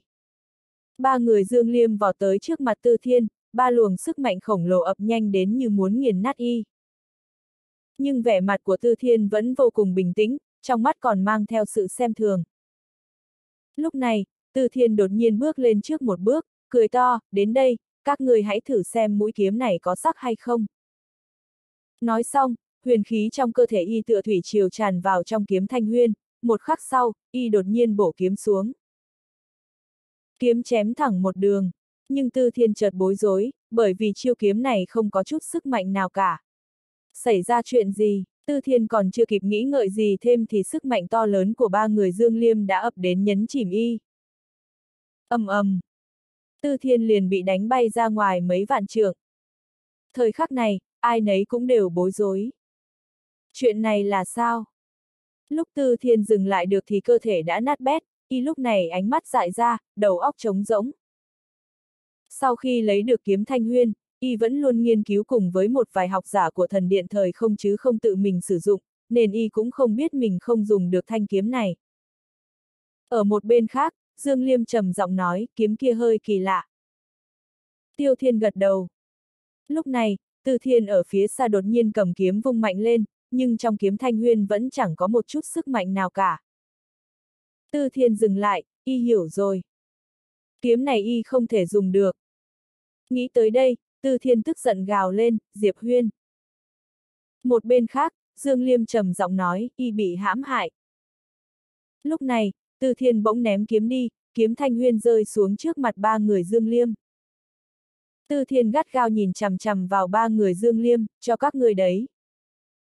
Nhưng Dương Liêm chỉ im lặng. Tư Thiên cười gần, sao nào, muốn diệt thần điện thời không ta? Thứ cho ta nói thẳng, cho dù hôm nay các ngươi có thể diệt được thần điện thời không, nhưng đạo sơn ngươi sau trận này sẽ còn lại được bao nhiêu cường giả. Hơn nữa còn bị Diệp Huyên cười thầm trong bóng tối đấy. Dương Liêm liếc mắt nhìn Tư Thiên, sau đó thu kiếm thanh huyên, chúng ta đi. Nói xong, ông ta xoay người rời đi. Nhóm cường giả đạo Sơn cũng vội vàng rời đi. Giữa trường, Tư Thiên gần giọng nói, không tiếc bất cứ giá nào cũng phải tìm cho ra Diệp Huyên. Phải tìm cho bằng được. Chỉ chốc lát, toàn bộ cường giả thần điện thời không bắt đầu điên cuồng lùng sục Diệp Huyên. Chấm chấm chấm. Trong tinh không, đám người Dương Liêm dừng lại, Dương Liêm liếc mắt nhìn kiếm thanh huyên trong tay, sau đó nói, không có cách nào thôi thúc được kiếm này. Lâm Tiêu trầm giọng nói, không thể sử dụng được à. Dương Liêm gật đầu, sau đó đưa kiếm cho Lâm Tiêu, Lâm Tiêu nắm chặt kiếm thanh huyên, một lát sau, ông ta cau mày lại, xem ra kiếm này chỉ có Diệp Huyên mới dùng được. Diệp Huyên. Tiêu Thiên đột nhiên nói, tìm Diệp Huyên kia đi. Chẳng mấy chốc, cường giả đạo Sơn cũng bắt đầu điên cuồng tìm Diệp Huyên. Bên trong tiểu tháp, Diệp Huyên ngồi xếp bằng trên mặt đất, ở trước mặt hắn là một đống hồn tinh, mà lúc này đây, những hồn tinh kia đang tự thiêu đốt, vô số năng lượng không ngừng tuôn vào trong cơ thể hắn. Dần dần, quanh thân Diệp Huyên tỏa ra một hơi thở cực kỳ mạnh mẽ. Đột phá vô gian cảnh. Một lúc sau, Diệp Huyên mở mắt ra, lúc này đây hắn đã hấp thu được một triệu viên hồn tinh. Tiểu tháp đột nhiên, đạt đến vô gian cảnh rồi. Diệp Huyên gật đầu. Bây giờ hắn đã đạt đến vô gian cảnh, thế nhưng vẫn không thể chống lại được nhóm người tiêu thiên. Tranh lệch cảnh giới vẫn còn quá lớn. Lúc này, Diệp Huyên đột nhiên nói, tiểu tháp, người nói thử tại sao Thanh Nhi có thể khiến 10 năm trong tháp chỉ bằng một ngày ở ngoài. Tiểu tháp đáp, ta mà biết thì còn là một cái tháp sao. Diệp Huyên. Tiểu tháp lại nói, tiểu chủ, người nghĩ sao? Diệp Huyên trầm giọng nói, hoán đổi thời không. Tiểu tháp có chút không rõ, hoán đổi thời không. Diệp Huyên gật đầu, thời không trong tháp không giống với thời không ở bên ngoài, phải nói là thời không trong tháp cao hơn thời không ngoài kia, người hiểu ý ta không? Không hiểu. Diệp Huyên không nói gì, hắn trầm tư một lát rồi lại nói, trong tháp 10 năm, bên ngoài một ngày, chuyện này có nghĩa là thời không trong tháp không giống với thời không bên ngoài, hoặc là nói cấp bậc thời không trong này cao hơn ngoài kia. Tiểu tháp trầm giọng nói, người nói thẳng đi. Diệp Huyên hỏi, nếu ta dung hợp với ngươi thì có phải là sẽ dung hợp với thời không thần bí thanh nhi chế tạo ra không? Tiểu tháp do dự một chốc rồi nói, người thử xem sao. Diệp Huyên gật đầu, ta cũng thấy có thể thử xem, nhưng cần ngươi phối hợp. Tiểu tháp trầm giọng nói, có nguy hiểm gì không?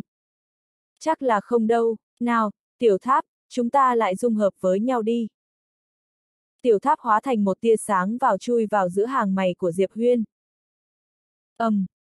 Cả người Diệp Huyên liền run lên kịch liệt, dần dần, thân thể hắn chợt trở nên hư huyễn, không chỉ thế, thời không xung quanh hắn cũng dần bắt đầu biến mất, ngay cả thời không tầng 9 cũng bắt đầu từ từ tan biến. Có điều, sắc mặt của Diệp Huyên trong tích tắc đã trở nên tái nhợt. Bởi vì hắn phát hiện thân thể của mình khó mà chịu đựng được thời không bên trong tiểu tháp. Chẳng bao lâu sau, Diệp Huyên liền hất tiểu tháp ra ngoài. Không chịu nổi. Hắn lúc này đã đẫm mồ hôi đầy đầu, không chỉ thế, toàn thân đều nứt toát ra. Tiểu tháp trầm giọng nói, tiểu chủ, hình như không được. Diệp Huyên lắc đầu, được, chỉ là ta không thể chịu đựng quá lâu thôi.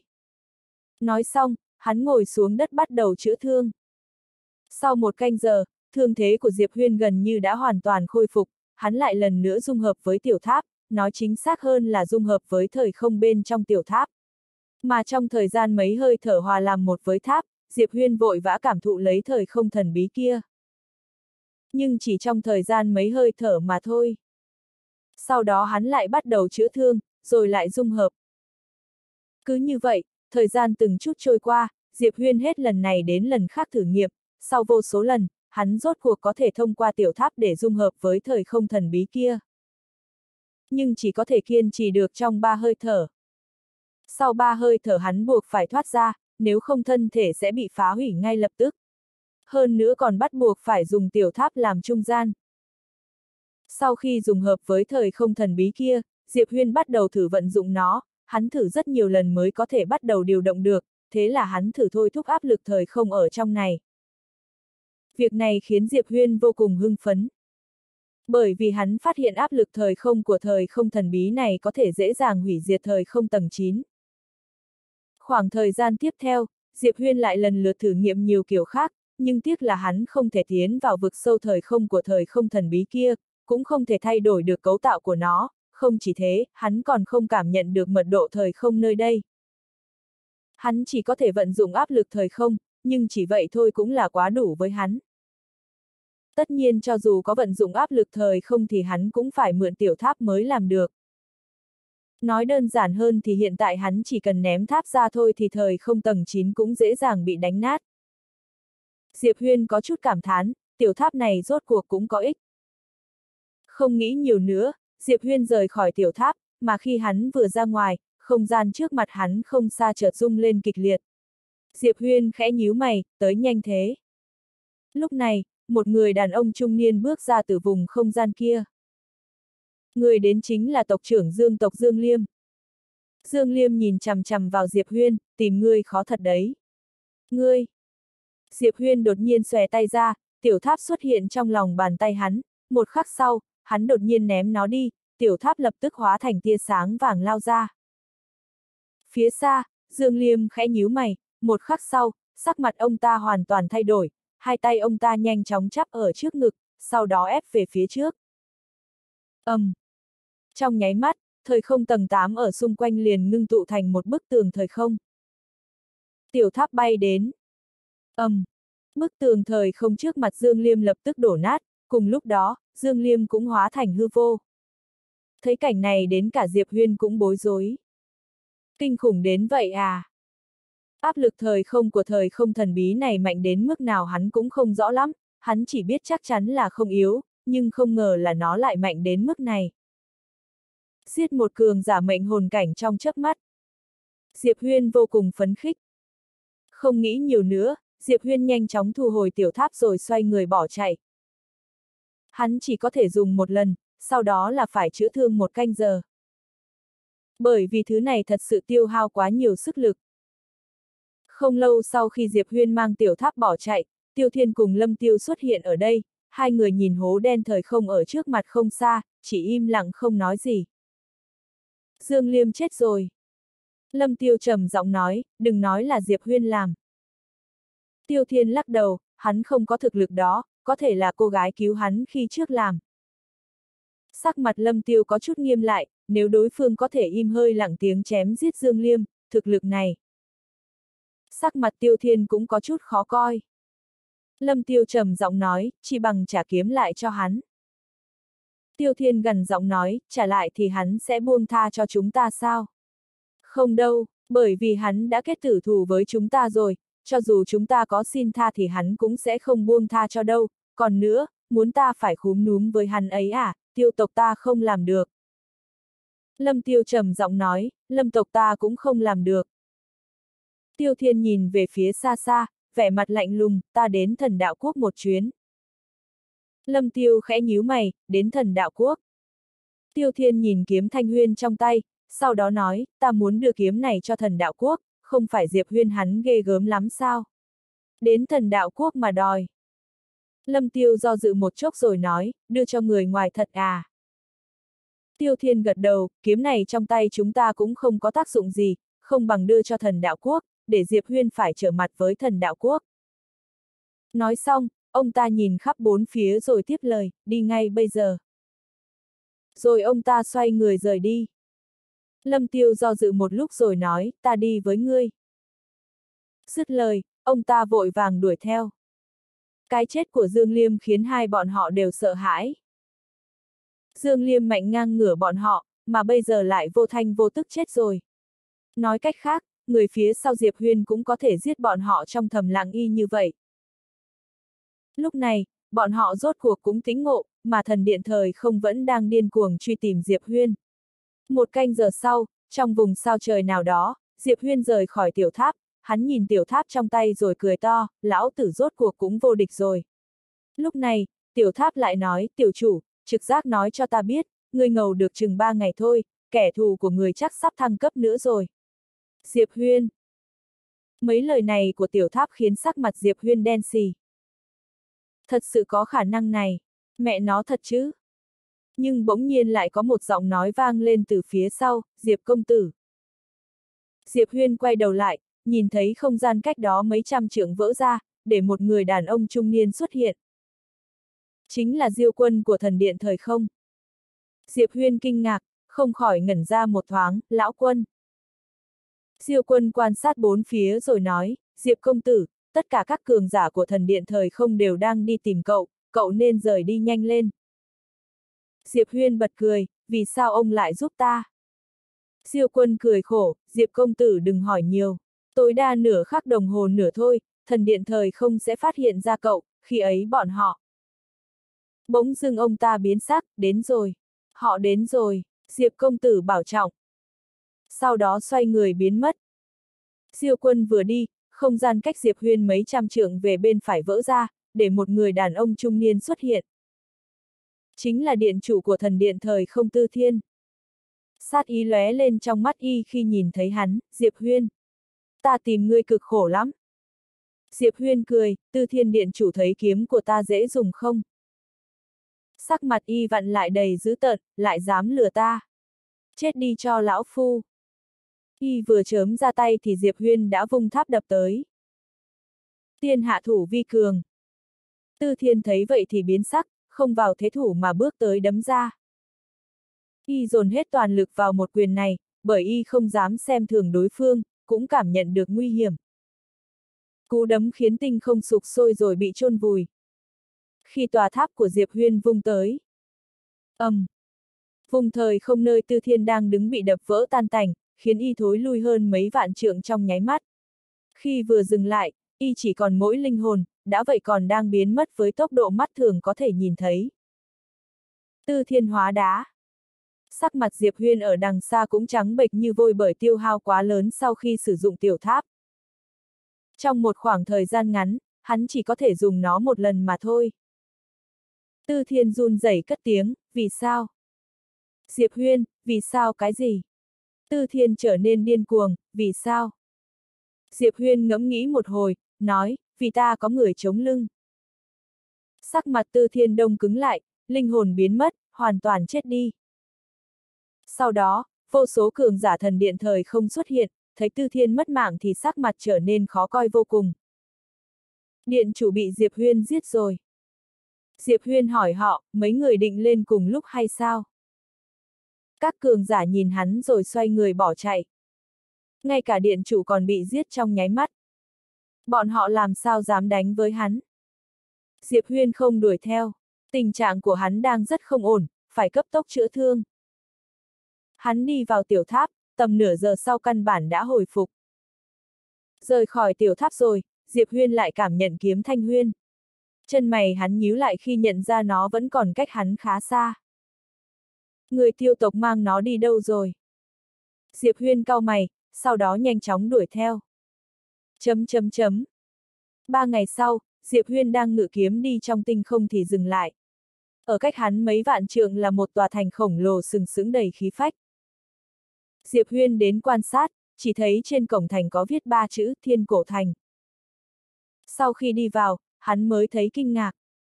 Trong thành sầm uất vô cùng, phố xá đều rộng mấy chục trượng, lầu cao hai bên mọc lên như nấm, kể bên san sát, trông có chút khó thở.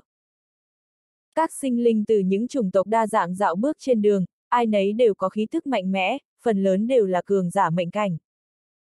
Diệp Huyên không biết phải nói gì. Má nó. Mệnh cảnh mà nhiều như chó chạy ngoài đồng thế này. Đúng lúc này, có một chiếc xe ngựa đi đến từ cuối phố. Xe này không phải do một mà là ba con ngựa cùng kéo, con nào con nấy đều to lớn vạm vỡ, gấp mấy lần so với ngựa thường, toàn thân phủ kín vảy đen nhánh, bốn vó tản ra lửa đỏ thắm.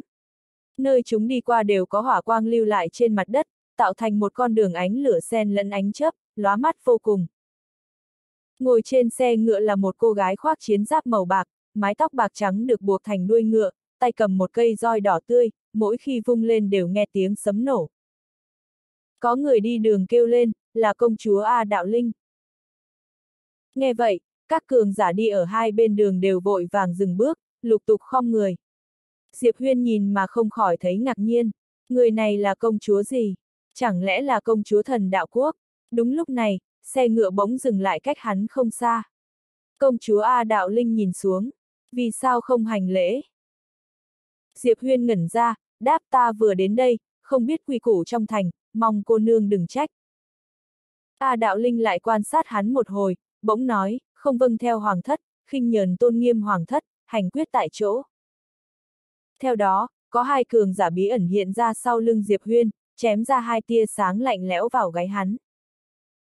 Diệp Huyên nheo mắt, một tia sáng lóe lên trong mắt. Hắn vươn tay, để một tia kiếm quang bay ra. Xoẹt xoẹt. Thủ cấp hai tên kia bay ra ngoài. Các cường giả khác có mặt đều kinh hãi. Người này dám ra tay với Hoàng thất ư. A đạo linh, ngươi là kiếm tu. Diệp Huyên bỗng bước tới, vung kiếm ra. A đạo linh nheo mắt, tung cây roi đỏ tới. ầm, um. Kiếm quang và huyết quang lóe lên, A đạo linh bị đẩy bay đi trăm trượng. Các cường giả khác biến sắc, cuồng cuồng bỏ chạy. A đạo linh này là ai?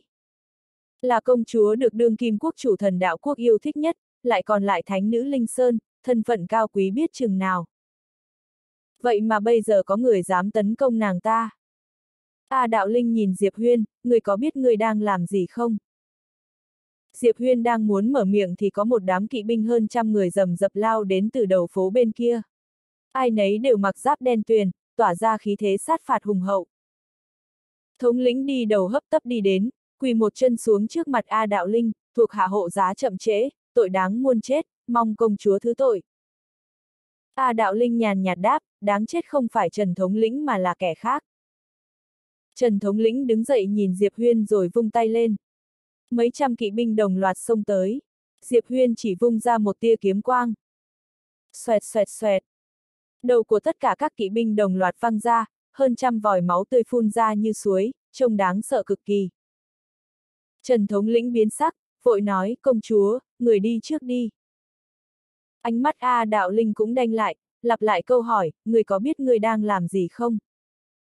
Diệp Huyên chỉ cười, người đang định nói mình có chống lưng chứ gì. A đạo linh, người đang gây sự với thần đạo quốc và Linh Sơn. Chắc chắn sẽ phải trả giá cực đắt. Diệp Huyên khó hiểu, rõ ràng ngươi khiêu khích ta trước mà. A đạo linh lạnh lùng, không vâng lệnh hoàng thất, giết. Diệp Huyên cười, nực cười. Ông đây kiêu hãnh cả đời, mắc gì phải cong lưng uốn gối vì một con đàn bà như ngươi. Nói xong, hắn lao tới trước, rút kiếm chém ra. Rút kiếm định sinh tử. Trong nháy mắt kiếm chém ra, sức mạnh kiếm đạo khổng lồ quật vỡ thời không trước mặt hắn. A đạo linh biến sắc, vội vàng vung tay lên, để cây roi đỏ mang theo huyết lôi hùng hậu càn quét lao tới. Cứng đối cứng. ầm, um. Huyết quang vỡ nát, cây roi trong tay A đạo linh bị xé thành mảnh vụn, ả ta cũng bị đẩy ra ngoài thành. Khi ả vừa dừng lại thì thấy một thanh phi kiếm chém tới. Đồng tử A đạo linh rụt lại khi ngửi được mùi của tử vong. Nhưng vào thời khắc mấu chốt ấy, có một bóng mờ đã xuất hiện ở vùng thời không trên đầu ả ta. Một khắc sau, phi kiếm của Diệp Huyên dừng lại. Thống lĩnh kỵ binh nhìn thấy cảnh này thì sụi lơ xuống đất. Nếu A Đạo Linh chết ở đây thì bọn họ sẽ gặp phiền phức ngập đầu. Diệp Huyên nhìn bóng mờ trên đầu A Đạo Linh. Nó rất mơ hồ, không nhìn rõ dung mạo, nhưng chỉ là ảnh ảo chứ không phải bản thể. A Đạo Linh hơi khom người, sư tôn. Là cường giả Linh Sơn. Bóng mờ nhìn Diệp Huyên, tuổi nhỏ nhưng tu vi kiếm đạo lại cao đến vậy, ngươi là người phương nào? Diệp Huyên lắc đầu, người bên ngoài, vừa mới đến đây. Bóng mờ khẽ cao mày, vừa đến. Diệp Huyên chỉ vào A Đạo Linh, vừa đến nên không hiểu quy củ nơi này. Đệ tử của ngươi thấy ta không hành lễ đã muốn giết ta, ngươi nói xem. Bóng mờ cắt ngang, ngươi không hành lễ với nàng, nàng muốn giết ngươi thì có gì sai. Diệp Huyên ngẩn ra, sau đó cười, vì sao ta phải hành lễ với ả? Bóng mờ, chẳng lẽ ngươi không biết nàng là công chúa thần đạo quốc và là thánh nữ Linh Sơn? Diệp Huyên cao mày, chỉ vì vậy nên ta phải hành lễ. Bóng mờ nhìn hắn một hồi, vì sao lại không? Một tia giữ tợn lóe lên trong mắt hắn, công chúa thần đạo quốc. Thánh nữ Linh Sơn, ông đây có cha vô địch, đại ca vô địch, muội muội vô địch, ta cứ làm kiêu thì thế nào? Hả, dẹp bà các ngươi đi. Hắn gọi tiểu tháp xuất hiện, sau đó ném ra. ầm, um. Bóng mờ bị tiểu tháp đập thành hư vô. A đạo linh cũng bị dư chấn đập vỡ thân xác, chỉ còn lại linh hồn. Nhìn thấy cảnh này, vô số cường giả đồng loạt biến sắc. Người này rốt cuộc là ai? Dám không nể nang thần đạo quốc và Linh Sơn, đây là muốn chết chăng? A đạo linh kia cũng xứng ra, tên này dám trực tiếp xóa sổ bóng mờ của sư tôn ả ta. Mấu chốt là hắn còn không nể nang gì thần đạo quốc và Linh Sơn. Đây là lần đầu tiên có người dám làm vậy với ả. Đôi mắt A đạo linh nhìn Diệp Huyên như những mũi dao nhọn hoắt muốn đâm xuyên hắn, người có biết mình đang làm gì không? Diệp Huyên không nhiều lời, chỉ xuất hiện trước mặt ả ta, vùng kiếm chém ra. Xoẹt! Kiếm quang lóe lên, linh hồn A đạo linh đã bị xóa sổ. Biến mất triệt để, ngay cả cơ hội luân hồi cũng không còn. Những cường giả đang ẩn náu kia không khỏi hít vào một hơi. Người này giết thật, lại còn mạt sát một cách tuyệt tình, ngay cả cơ hội luân hồi cũng không cho. Chẳng khác gì công khai vả vào mặt thần đạo quốc và Linh Sơn. Thiếu niên này là thần thánh phương nào? Bên kia, sắc mặt Trần Thống lĩnh trắng bệch như giấy, cả người run lẩy bẩy. Công chúa A Đạo Linh cứ thế mà bị giết ư. Chém chết A Đạo Linh rồi, Diệp Huyên xoay người rời đi. Tiểu tháp hỏi, sao tiểu chủ không dám nhịn, người giết ả ta thế này lại dẫn đến vô vàn phiền phức. Diệp Huyên nhàn nhạt nói, ta không phải rùa, vì sao phải co đầu rụt cổ. Tiểu tháp thở dài, vậy từ nay về sau người sẽ có thêm hai kẻ thù khổng lồ khác là thần đạo quốc và Linh Sơn. Diệp Huyên cười, thế thì còn cách nào khác, người cũng thấy rồi, không phải ta kiếm chuyện với ả, là ả ức hiếp ta trước. Tiểu tháp im lặng. Diệp Huyên tiếp tục, nếu lúc ấy ta chịu khom lưng hành lễ thì sẽ không có phiền phức về sau, nhưng vì sao chúng ta lại phải cúi mình trước hạng người như ả hà tiểu tháp? Vì ả là công chúa thần đạo quốc, là thánh nữ Linh Sơn. Ta mặc kệ, ta chỉ biết, người không phạm ta, ta không phạm người, người phạm ta, ta ắt phạm người. Tiểu tháp, ta hiểu ý tiểu chủ, cũng biết người có cốt khí. Vậy người định đối mặt với Linh Sơn và thần đạo quốc thế nào đây? Diệp Huyên nhún vai, đánh thắng thì đánh, không thắng thì chạy chứ gì nữa. Tiểu tháp, thế sao còn chưa chạy? Diệp Huyên khẽ biến sắc, chúng đến rồi. Tiểu tháp, người không cảm nhận được ư. Khóe miệng Diệp Huyên cứng còng, có cảm được qué gì đâu. Hắn lập tức ngự kiếm bay đi, chỉ trong chớp mắt đã biến mất ở chân trời. Không lâu sau, có một người phụ nữ xinh đẹp xuất hiện, nhìn xuống bên dưới bằng ánh mắt tối tăm. Bà ta là sư tôn của A Đạo Linh, cũng là đại trưởng lão Linh Sơn Lam Linh. Một hồi sau, Lam Linh xoay người, truyền lệnh ta, phải tìm được hắn bất kể giá nào. Chấm chấm chấm. Thần đạo quốc. Đất nước này tọa lạc ở tinh vực thần đạo một nơi từng vô cùng loạn lạc với hơn mấy chục nghìn thế lực lớn nhỏ. Sau đó tinh vực đã sản sinh ra một vị thần hoàng, chỉ dùng mấy trăm năm ngắn ngủi đã thống nhất toàn bộ, hình thành một siêu thế lực chưa từng có trước đó, thần đạo quốc. Trong một gian đại điện thuộc Hoàng cung thần đạo quốc, có một cô gái đang chậm rãi đi lại, trong tay cầm một quyển sách cổ. Nàng ta nghiêm túc đọc nó, khóe môi cong cong thành một nụ cười động lòng người. Nàng ta khoác một bộ váy trắng đồ sộ, phần đuôi váy có thêu thần phượng màu tím đang trao liệng, nhìn xuống thiên hạ bằng nửa con mắt ngạo nghễ.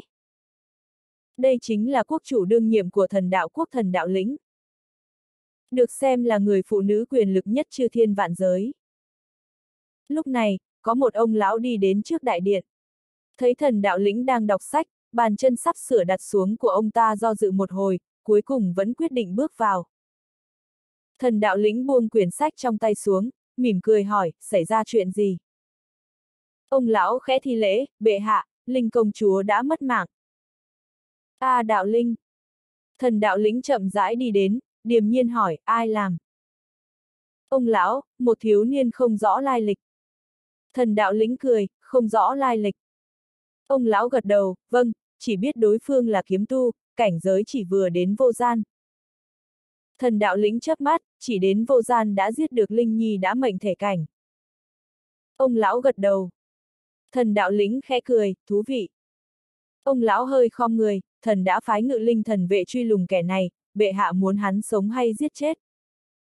Thần đạo lĩnh, một tá đại nhân, một thiếu niên vô gian cảnh, biết được thân phận Linh Nhi nhưng vẫn dám giết, lại còn vượt cấp chém chết mệnh thể cảnh, ông cho rằng đối phương là người thường sao. một tá bình tĩnh đám, bất luận thân phận thế nào, dám sát hại linh công chúa chính là đang coi rẻ thần đạo quốc ta. Phải chu di thập tộc. Thần đạo lĩnh cười, Linh Sơn đã truy tìm hắn rồi chứ. Mục tá gật đầu. Thần đạo lĩnh, vậy trước tiên hãy đợi đã, xem Linh Sơn diễn trò hay. Audio điện tử võ tấn bền. Hết tập 171